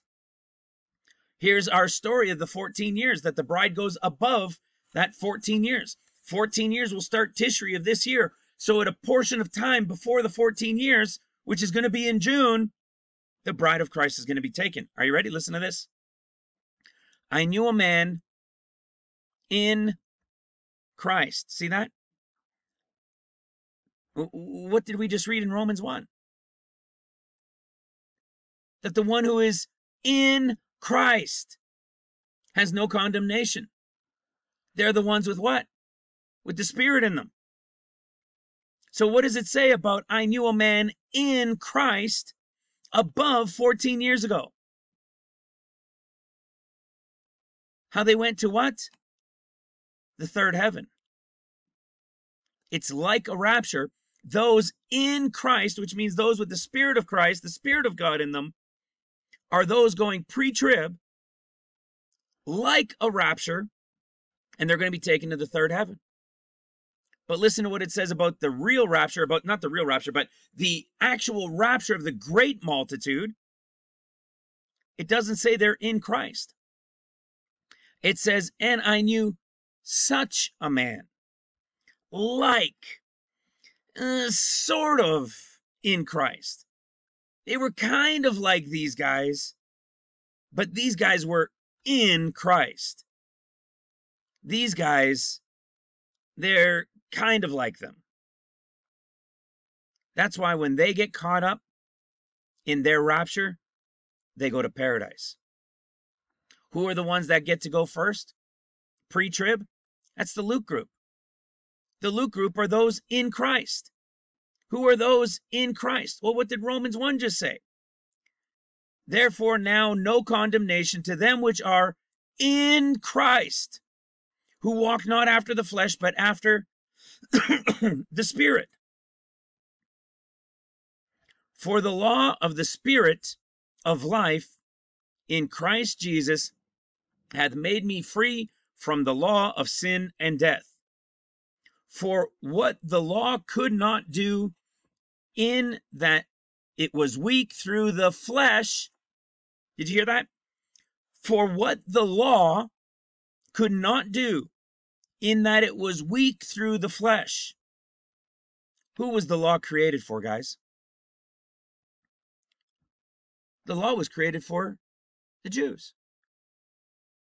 The law was created during the time of what? Old Testament. From Adam. From the time of the creation of flesh. God sending his own son in the likeness of sinful flesh. Why did Christ have to come into the flesh? Because we're all living in the portion of the time of flesh. Those with the Spirit of God, those with the light, and those who are all flesh are living in the period of time of flesh. This is why we say you share the gospel with everybody. Because even though there are three portions and three groups, you don't know who belongs to who. But when it's all done in their portion, the number and the percentage and the timing will all be perfect. There was never a delay. Not ever once was there a delay. It will all be in perfect timing. People that say delays is because they don't understand the timing of Scripture. And for sin, condemned sin in the flesh, that the righteousness of the law might be fulfilled in us who walk not after the spirit, but after the flesh. Uh, uh, sorry, who walk not after the flesh, but after the spirit. It's this constant thing flesh, spirit, flesh, spirit, flesh, spirit. Do you know why? Because for those who are in Christ, they generally love the book of Romans. Because the book of Romans is to the bride of Christ. That's why we are in the flesh, but we are the spirit. Let's keep going. So then, they that are in the flesh cannot please God. Well, do you guys know who can't please God? The Jews. Okay, they're in the flesh, right? But you are not in the uh, but you are not in the flesh, but in the spirit. So it be that the spirit of God dwell in you. Now, if any man have not the spirit of Christ, he is none of his. Let's go down to this part that we talk about all the time. Now it starts to become more clear again. For as many as are led by the Spirit of God, they are the sons of God. So this whole thing is telling us spirit against flesh. Yes, you're all in the flesh because we're living in this time of the flesh. But you guys are spirit. And if you are the spirit, if you are the spirit of God, then you are the sons of God. Who are the spirit of God? Those from that first creation with the spirit of God. You see, that entire first conversation, that entire conversation in Romans 8 is to the spirit group who is living in the time of Adam's fleshly creation.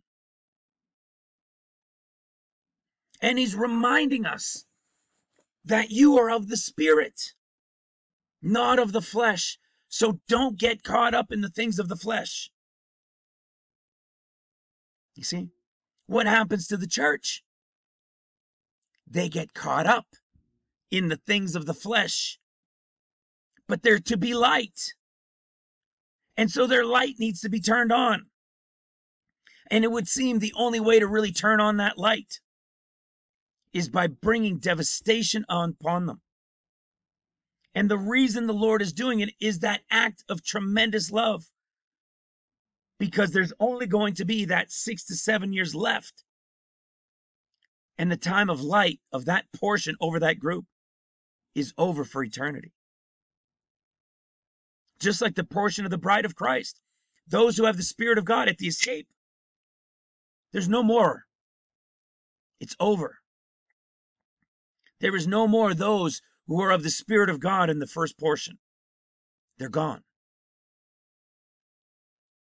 So, what's going on here in Romans is the first group with the Spirit of God in them living in the portion of time of the flesh and being reminded not to be caught up in the things of the flesh. But we know that when it comes to the church, they got caught up in the things of the world. So when Christ comes at the beginning, at 40 days after the bride, the sons of God, those with the Spirit of God, those who are co heirs crying, Abba, Father, when they're gone, and Christ begins as the Son of Man for 40 days, what is he coming to do? Bring them light. He's coming to shed light and let them all know to come to him. Unfortunately, the majority, the vast majority, are going to think that he's the Antichrist or not believe who he might be and will reject him temporarily. This is awesome. This is awesome. This is deep, deep. This, it just blows me away. Freaks me out, blows my mind. now, watch this. That first group that we're talking about in the spirit, right? We, we kind of touched on this earlier. We know that they're connected to Taurus. This was this was a huge revelation we got. Excuse me, a confirmation that we got back in March of 20 was it 2020? Yeah, back in 2020. That's right, just over 2 years ago now. Oh my goodness. And we find it here. We shared this a couple times recently.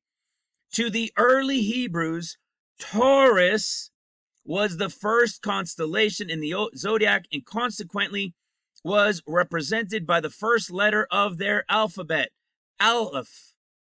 Aleph ox, the head of the ox, the beginning. Who is the beginning? What is the beginning? Genesis 1, verse 1 in the beginning. So, where do you think this connection should be for the bride of Christ who is connected to the beginning, which was Taurus? Do you realize when Taurus is? Now this is a, this is the sun not accounting for the moon included because with the moon included it goes a little bit further. But as of 2008 the sun appears in the constellation of Taurus from May 13th to June 21st. This brothers and sisters is the time we've been sharing this year for oh just since late last year which goes from here to here from the seventh Sabbath of the Feast of Weeks to the beginning of the 50 days right here and the escape of the bride of Christ after seven days, probably early in the morning on the eighth day, Jerusalem time. And look at where it is. What is it? June 21st. Why? Because it's in Taurus. It's in the beginning. Why is this important? Because it is the beginning. It is the first position. It is Christ, the cross in the middle of the three feasts of the Lord. It is the Feast of Weeks that was the first uh, uh, um, covenant that he ever made with man. Do you understand when when Christ came?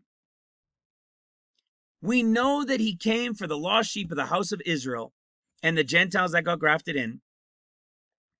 Do you realize that when he came, did he come to save John? No.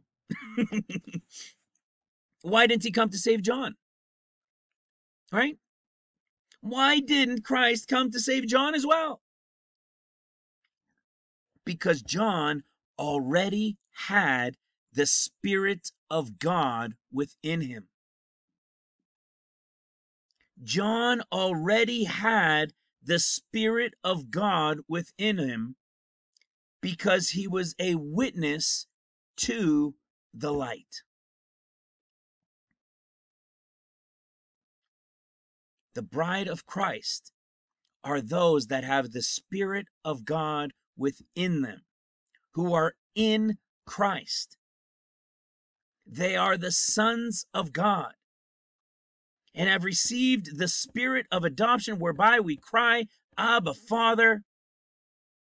And if children, then heirs, heirs of God and joint heirs with Christ. You see, then it goes on to talk about the creature. What is it saying about the creature?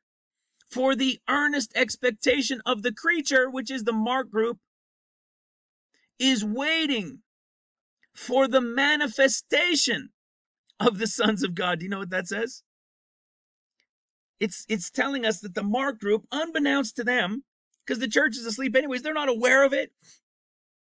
But you could say probably Lucifer is waiting for it. The false light, that antichrist spirit, is waiting. There, the earnest expectation of the creature waits for the manifestation of the sons of God. What's the manifestations? The vanishing.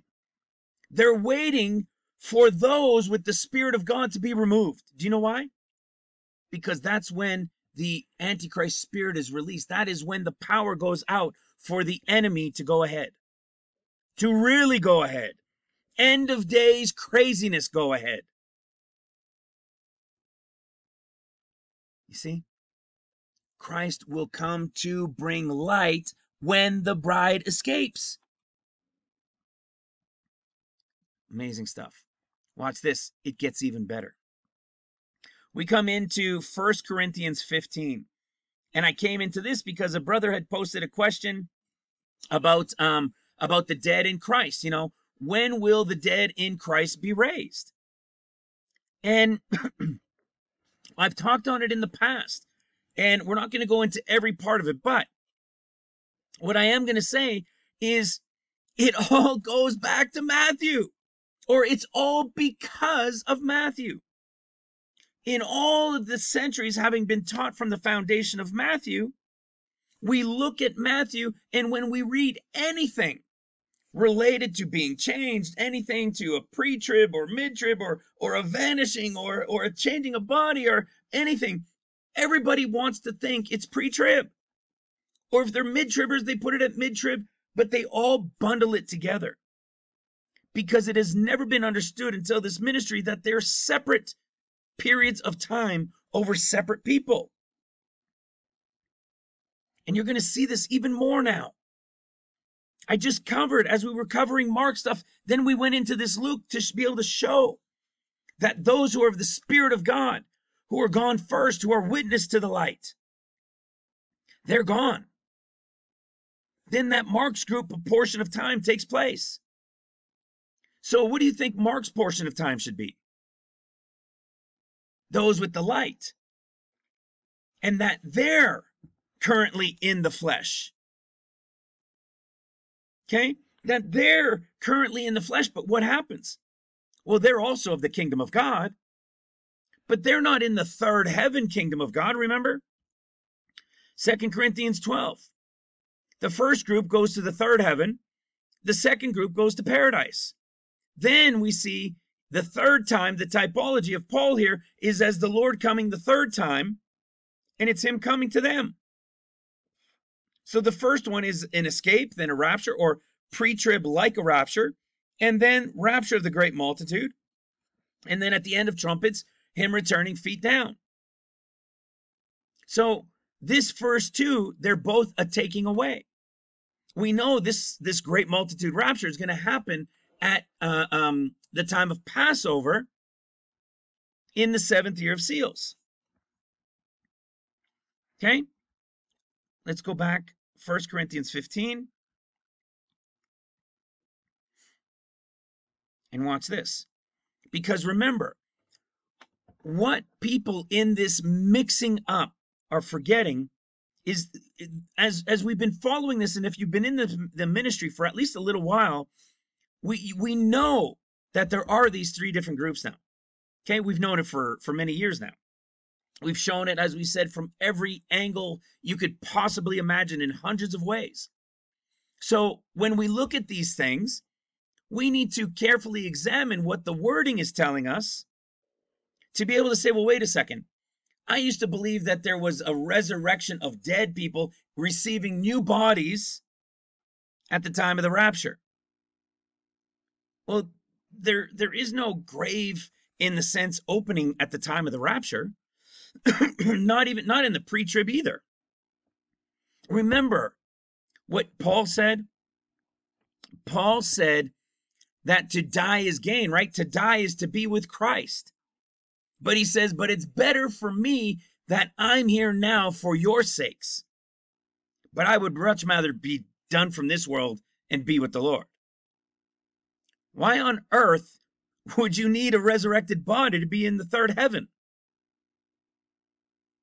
Doesn't it, it doesn't it doesn't even jive. There's nothing that why would you need a body to be living in heaven? Okay? You're going to understand what this wording is as we read this in First Corinthians 15. Because as we've read this in the past, and as you've read it when you would have been um, in the seven year thinking, what happens is we read it and we think it means a, new type of, of body like we have, but maybe one that could walk through walls or something. No, that's not what it says. We have no need for this body anymore. Listen to what it says. Let's start in verse 44. It is sown a natural body. That's what we have right now. It is raised a spiritual body. There is a natural body and there is a spiritual body.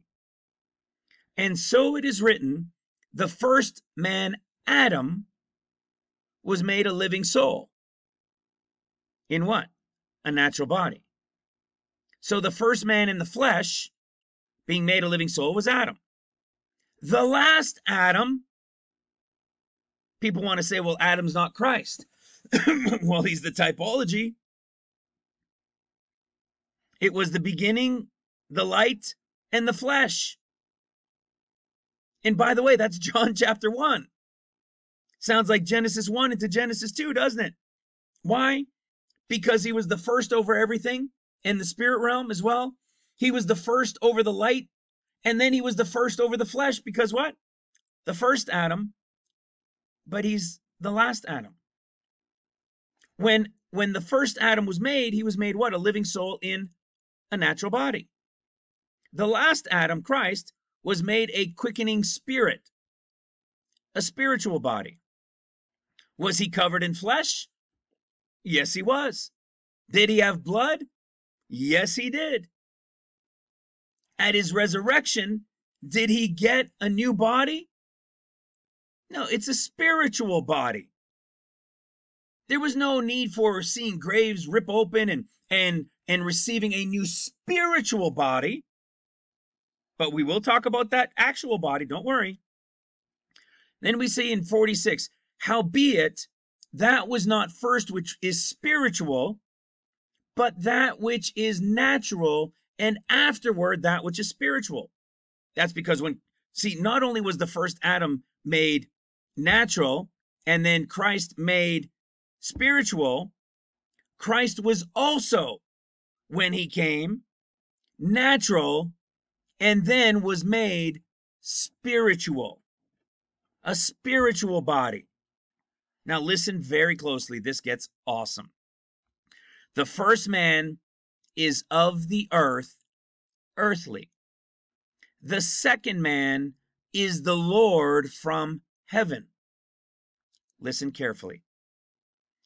As is the earthly, such are they. Remember, I told you earlier? As is the earthly, such are they also that are earthly. Did you hear that? That means there's a group that are earthly. And as is the heavenly, such are they also that are heavenly. Meaning there are some of the earth who are made for the earth, who were promised the earth, who were promised the kingdom of heaven on earth. And there are others who, although in the image of the flesh, covered in the flesh, they actually bear the image of their creation in the light. Are you ready? And as we have borne the image of the earthly, we shall also bear the image of the heavenly. Who was this image created in, brothers and sisters? Oh, you got it. You got it. I can hear you guys yelling it. Exactly what he told the Mark group only. The creation, when God made them male and female, he created them in his image, but they got corrupted by the false light of Lucifer. And here they are now. Here we are, right? We're all living in this dimension, this time of the flesh. This time of the flesh. But there are those represented by the creation in days when he made the male and female in his image who have been corrupted. They are the creatures that were corrupted. They are the creatures that were worshiped above the creator by those of the false light. And here they are dwelling in the earthly. They are dwelling in the time of the flesh. But guess what it says? And as we have borne the image of the earthly, so shall we bear the image of the heavenly. Watch this born the image of the earthly. Look at what it says to have a burden to wear as clothing. This is to the church guys. This is to the church that will go through seals. They are wearing, like we are, but we saw in Romans that the bride of Christ, those with the Spirit of God, even though they are in the flesh, they are not of the flesh. What is he now telling the church? He is telling them, look, you guys might be living in the earth, but you are not of the earth. You are not earthly as those who are earthly. You are not earthly as Adam is earthly. You are dwelling in the time of the earthly, but you are not earthly. You are covered in a clothing of flesh, in the image of the earthly. But you shall bear the image of the heavenly. And what was that image in them that he came to bring? The light. The light, because they first got corrupted in creation by the false light of Lucifer. He was the true light that they were created in when he made them male and female in his image of light. But we're now dwelling in the dimension of the flesh. And this group in the dimension of the flesh that he is talking to here are going to be upon their death or upon the time of the twinkling of an eye when the time of the rapture of the great multitude comes will be made into that heavenly image of light once again. As is the earthly such are they also that are earthly. And as is the heavenly such are they that are also uh, also that are heavenly the rapture group is also heavenly. They are part of the kingdom of god. Listen to what it says. Verse 50 now this i say brethren that flesh and blood cannot inherit the kingdom of God. you see, there is no new type of body of, of graves that need to open and so that you could walk through walls or whatever you think it might mean. There is no need for that type of body ever again in heaven, in the third heaven, or in paradise.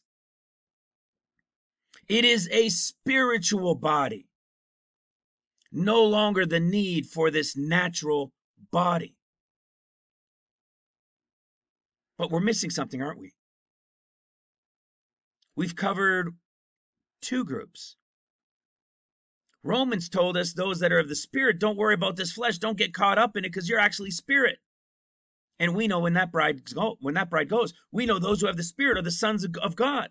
Those who have the spirit of God, man, that's pre-trib. That's the Luke group.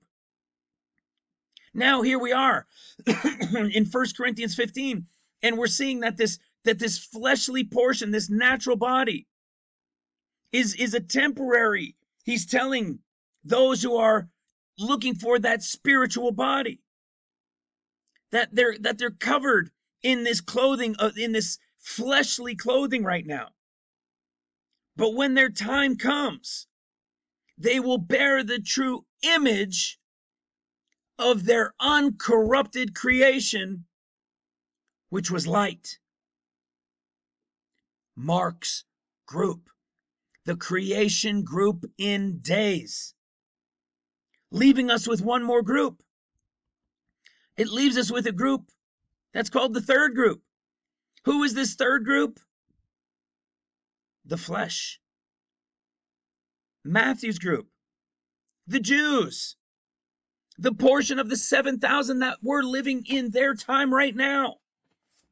Even though there are those of the spirit covered in the flesh, there are those of the light covered in the flesh. There are those who are also made flesh. And that was the third creation or the third group in the creation story. That third group is the flesh created of the dust of the ground. And where did the Lord God put them? In the garden. They were put in the Garden of Eden. where does this land in the typology of time? Beginning of trumpets. All right? The beginning of trumpets, Matthew's portion of time. Matthew's portion of time. So if if Lucifer came and was the one who corrupted in the creation of days the light, he corrupted and was the false light and corrupted them. Look who shows up. But the Antichrist, the same typology, coming to corrupt them during the time of seals. And then he'll be destroyed at the end of the sixth seal. And then here we are in the typology now in Matthew's time in their 7,000 typology, in their end times seven, not days, but years in the end of days. At the seven trumpets. What happens in this typology now?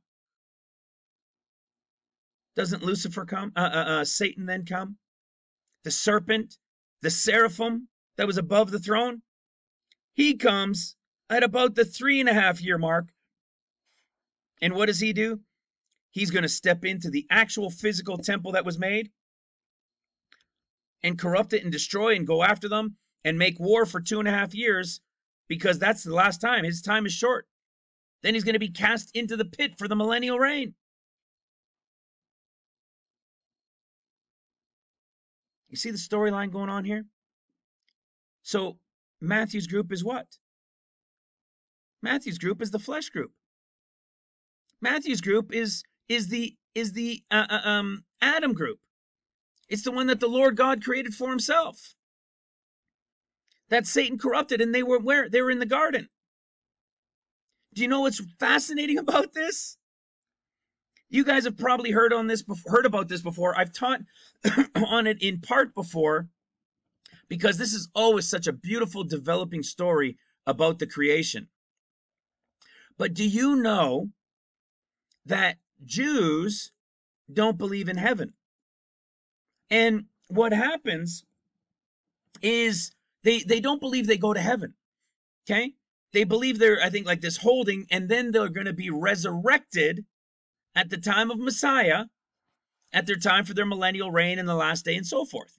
Okay? And they'll be at paradise because paradise will have returned again, right? And they'll have their millennial reign. Well, when you go read on this, you're going to read some people say, well, no, they actually believe in heaven, but in a different sense. No, it's a different sense. they don't believe that they're going to a heaven in that sense. The Jews don't believe it. And that's because the heaven is not for them. Remember, it is Luke's group and Mark's group that are the portion of the kingdom of God. Judah's portion and promise is the kingdom of heaven, which is heaven on earth, which is their millennial reign. Okay? What they believe in in connection to the afterlife is often you uh, uh, it often uses it interchangeably with the term Gan Eden or the Garden of Eden, referring to a heavenly realm where souls revive after physical death. Did you see that? Did you hear that? They're waiting for the Garden of Eden. Not only do they say they believe that they're waiting there, they believe that they will be resurrected to the Garden of Eden. Listen to what it says. To use the generic term Garden of Eden, described as heaven, suggests that the rabbis conceived of the afterlife as a return to the blissful existence of Adam and Eve in the garden. Before the fall, it is generally believed that the Garden of Eden, that, uh, that in the Garden of Eden, the human soul exists in a disembodied state until the time of bodily resurrection in the days of Messiah. You see, brothers and sisters, they don't believe in heaven as we do because heaven is not theirs. But we have been sucked in to this believing of these things, not, I don't believe purposefully, but Christians would go to Jews and they would they would debate these things back and forth with the New Testament and the Old Testament. And they all came into this seven year thinking, this 7,000 year thinking, instead of the 14 year thinking, instead of the 14,000 year thinking with this first mystery seven to show the truth of it being 21. But the house of Israel, Judah, the New Testament, the, the, the, the church, and the Jews, the house of Judah, they are seven and seven. 7,000 as days, 7,000 as the thousands of years. But because they've all seen it under the same banner of Judah, Christians see seven years and the timing like the Jews. And so, what happens when the conversation of the resurrection of the bodily takes place. Well, do you know where that comes from? You see, it is the Jews with their promised heaven on earth who are going to receive this bodily resurrection. But Christians have it so confused because they're seeing from the same view as Matthew, you see, that they believe it's for them. It has nothing to do with us. Look at what the Bible tells us. In Romans chapter 11, it starts in verse 9. And David saith, Let their table be made a snare and a trap and a stumbling block and a recompense unto them. Remember, it's kind of like uh, what Isaiah 2 says, right? Who will go? Send me, right? That's a typology of Christ. Send me. And he says, Make their hearts fat, make their eyes blind, plug their ears. Because if you don't, maybe they'll recognize it and be saved. I mean, it's the craziest thing. I've mentioned it a couple times recently. It's the craziest thing. You would think that's what you want, but it's not God's plan. So, see, they, it's been made a snare and a trap for them not to see. Let their eyes be darkened that they may not see, and bow down their back always. This is why the Jews didn't recognize Christ. They were blinded. But it was for our benefit, it was for the world's benefit, which is the house of Israel and the Gentiles grafted in. And then it says, uh, verse 11 I say then, have they stumbled that they should fall? God forbid, but rather through their fall, salvation has come to the Gentiles for to provoke them to jealousy. Now, if the fall of them be the riches of the world, meaning two things. One, the Gentiles, the house of Israel, the, the world is now going to benefit because of their fall. But it also means because they're God's chosen people, and during this time of fall, He's giving them the riches of the world. That's why they control everything. That's why, for the small nation, they're the most Nobel Peace Prize winners. That's why they control and own so many things.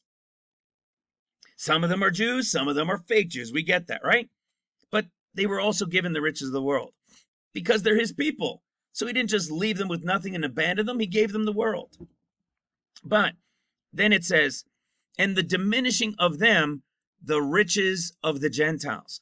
So while they get to gain the riches of the world during their fall, that diminishing of them brings in the riches for us spiritually. Okay? But they're his people, they're his chosen ones. So then he says, how much more their fullness. For I speak to you, Gentiles, inasmuch as I am an apostle of the Gentiles, I magnify mine office, if by any means I may provoke them to, uh, I may provoke to emulation them which are my flesh. Huh. Because why? He was a Jew.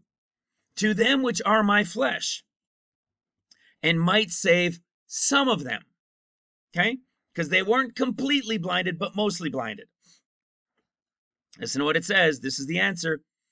For if the casting away of them be the reconciling of the world, what shall the receiving of them be but life from the dead?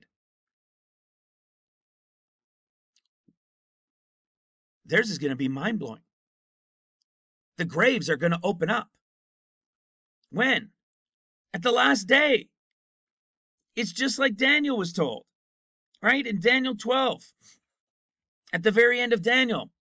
But go thy way till the end be, for thou shalt rest and stand in thy lot at the end of the days. That's at the end of tribulation, at the end of it. You're going to stand in your plot. So, what's he telling them? What's he telling us? that the resurrection from the dead that Christians generally think has to do with them has nothing to do with them. The First Corinthians 15 isn't telling them about a, a, physical body coming back from the dead and the graves opening.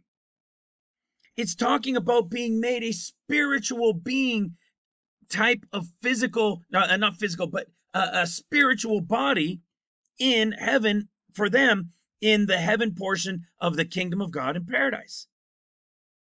But remember, there's going to be paradise, this kingdom on earth. Remember when the Lord returns, feet down on the Mount of Olives? After the battle, he's going to what? Water is going to flow from the temple in Jerusalem and it's going to restore and replenish everything. And they're going to have their kingdom on earth. And they're going to be raised from the dead. you see, this is why when we go to Matthew and we read as we did just recently, and you read the resurrection story from the synoptic discourse uh, from the synoptic gospels of Luke, Mark, and Matthew, the only place you see where the graves are opened and the dead went into the city is Matthew's death and resurrection story. Those who are what? Of the flesh. Those who are of the earth, earthly. And even though we are all currently earthly covered, there are those throughout the earth, a small portion, who are currently in the earthly covering, who have the Spirit of God. They are the bride of Christ. They are the sons of God. They are the John the Baptist at the time of his birth, who are the typology of the witness who came before the light. They are those who will be taken before the light, who are those who have the Spirit of God in them. Christ does not have to come for those in him. He is coming for the lost. And when he comes for those 40 days, he is coming to shed light on those who are lost, who are the ones from the creation of days, who were corrupted by the false light who must be brought back and be made aware of the light that is within them. That when he returns at the end of the sixth seal on heavenly Mount Zion and leads them into the promised land to the time of the rapture as Joshua did, it will be then the time of Judah and the time of the light will now be done as the time of the Spirit was done. When the time of the light is over, the days of the church age is finished. And it will turn to the age of the earthly. And when the time of the age of the earthly is finished, those who were promised the earthly millennial reign of peace on earth in their own land, each tribe receiving their own portion, just as precisely we're told in Ezekiel chapter 48. It will be the millennial reign, and those who were laying in their plots that were the Jews of old will be resurrected from their graves, given new bodies. And it will return to those days. It will return all the way back to those days, to the time of the Jews, to the time of Judah, to this portion of time when it all began, where they lived for hundreds and hundreds of years. It will be their portion of time in the earthly as Adam was made of the earth which is the third portion creation, which is to Judah, to Matthew, the light to Mark, and the Spirit to Luke. The Spirit is the Feast of Weeks, the light is Passover, and the earthly is the Feast of Tabernacles. Escape, pre trib, rapture, mid trib, seventh year of seals, return, feet down on the Mount of Olives at the beginning, at the end of the 13th or the beginning of the 14th year, feet down. And as he says, after we read this resurrection story of those who slept, who were there from the foundation, or, or I mean from from the beginning, who were told to lay in their plot because they are of the earth, earthly. He then tells us at the very end of Matthew that he will now be with them until the end of the world. That's the end of the millennial reign, brothers and sisters. When this end of the world happens, it will be the end of not only what was the 21 year story and the 14 years of tribulation, and then a millennial reign that will carry on from this Jubilee forward for a thousand years. When the story is all over, it will have been from in the beginning to the very end, from the Aleph to the Tav, 21, and then the 22nd thousandth year. It is the Spirit, it is the light, it is the flesh. That was so awesome. Man, I know some of you are going to need to watch this more than once. I'm still I'm still sorting some of this throughout in my brain as I keep putting more and more of these pieces together as I'm led to understand them. It is it's mind-blowing. It is so awesome. Like just reading this again in a way I'd never read it before. Did you see that this video guys that this entire teaching was from like a half dozen conversations with you guys through comments, through through direct messages, through talking on the phone. Do you know what got me going down this through this with light and spirit being covered in the flesh and so forth? Was a call with our brother Mark.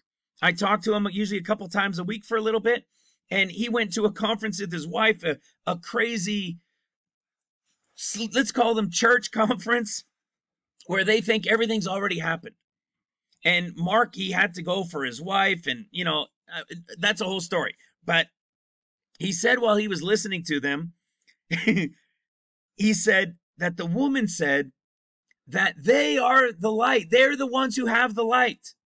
And Mark told me that he said in his mind, he says, You're absolutely right. You guys are the light. I'll take the spirit. and it got me going down this trail. And I and I started realizing, I mean, we, we've taught this, but not to that wowness of what he said. Not to like the the awareness of saying, oh my goodness. That's right. It was the spirit, the light, the flesh. It was Luke, it was Mark, it was Matthew. Which means, yes, of course, we can still have the light of Christ in us, but we're not of the light. The bride of Christ is of the Spirit. Would you rather be Romans 8 or would you rather be 1 Corinthians 15? Isn't it funny that the, for the for the majority of the church that teaches on end times, they love going to 1 Corinthians 15 to say pre-trib? You know why they do it because they have their foundation in Matthew. So where do you think that puts them? At the end of Mark, which is precisely this. See how crazy that is? See how awesome that is?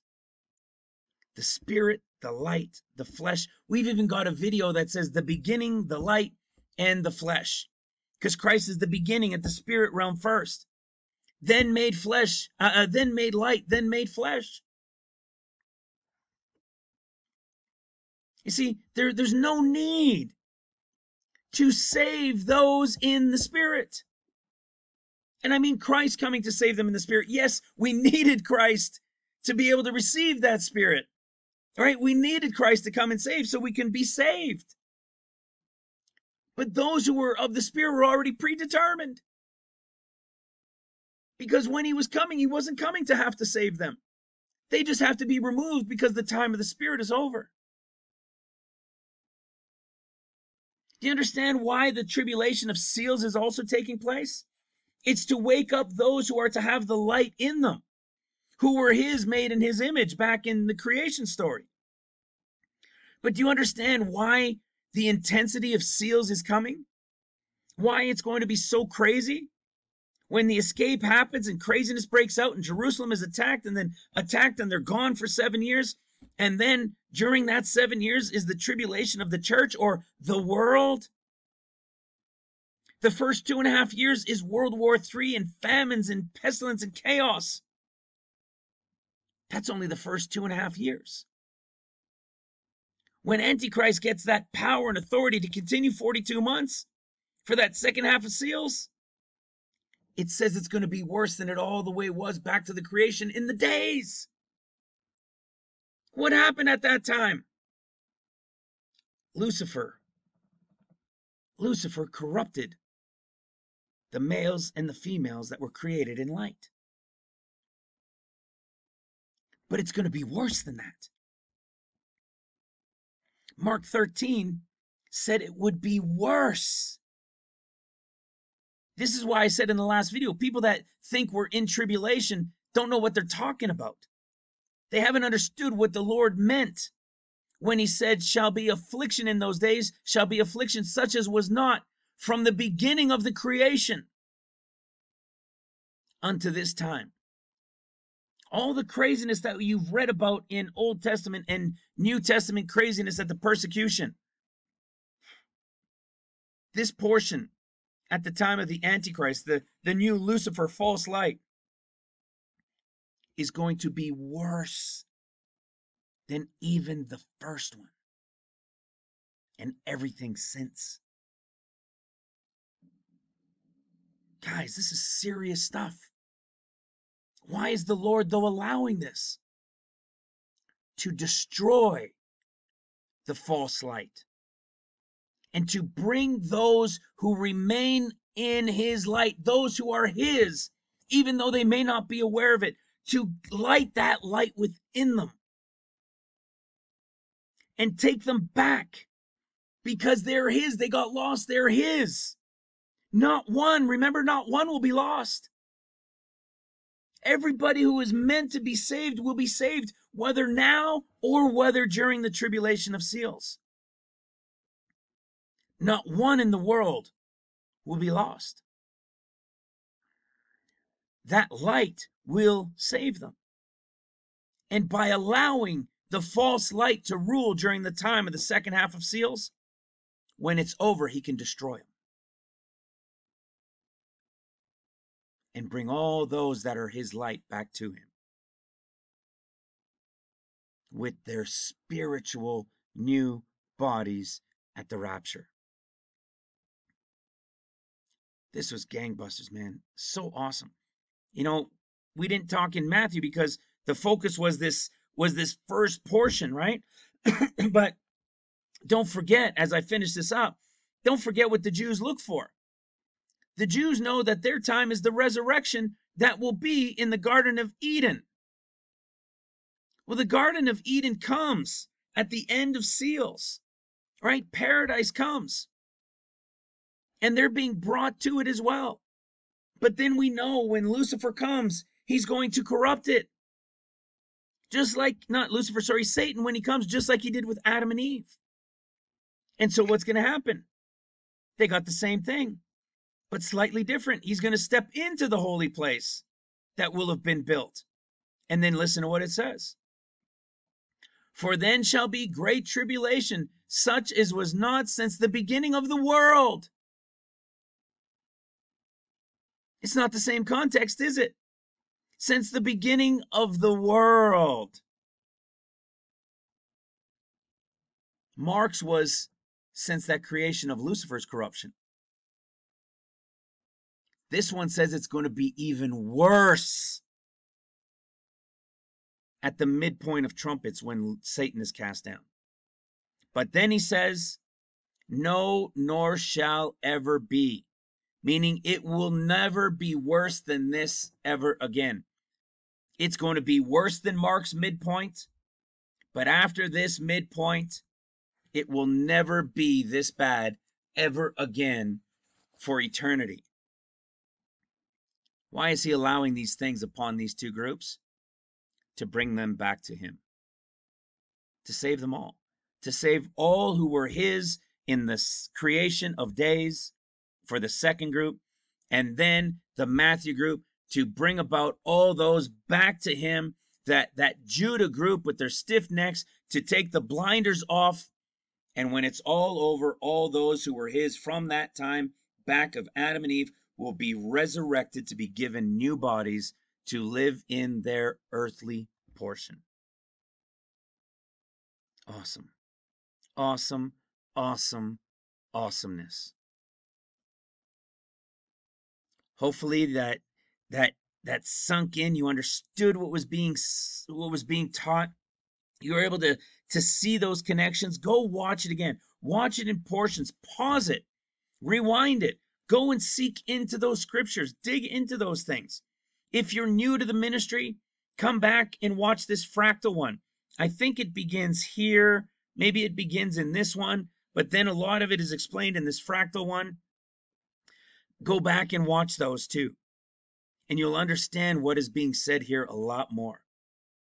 Because, brothers and sisters, I hope and pray and believe that everybody listening to this now and those who are in our homes, I pray we are all those with the Spirit of God within us, because those with the Spirit of God are the pre trib sons of God, bride of Christ who will be co heirs with Christ, who will be witness to the light that's coming, and will do it from the third heaven. I love you guys. God bless you. God bless your families. I'm so pumped up now. It's almost midnight. I'm not going to bed for another couple hours, anyways.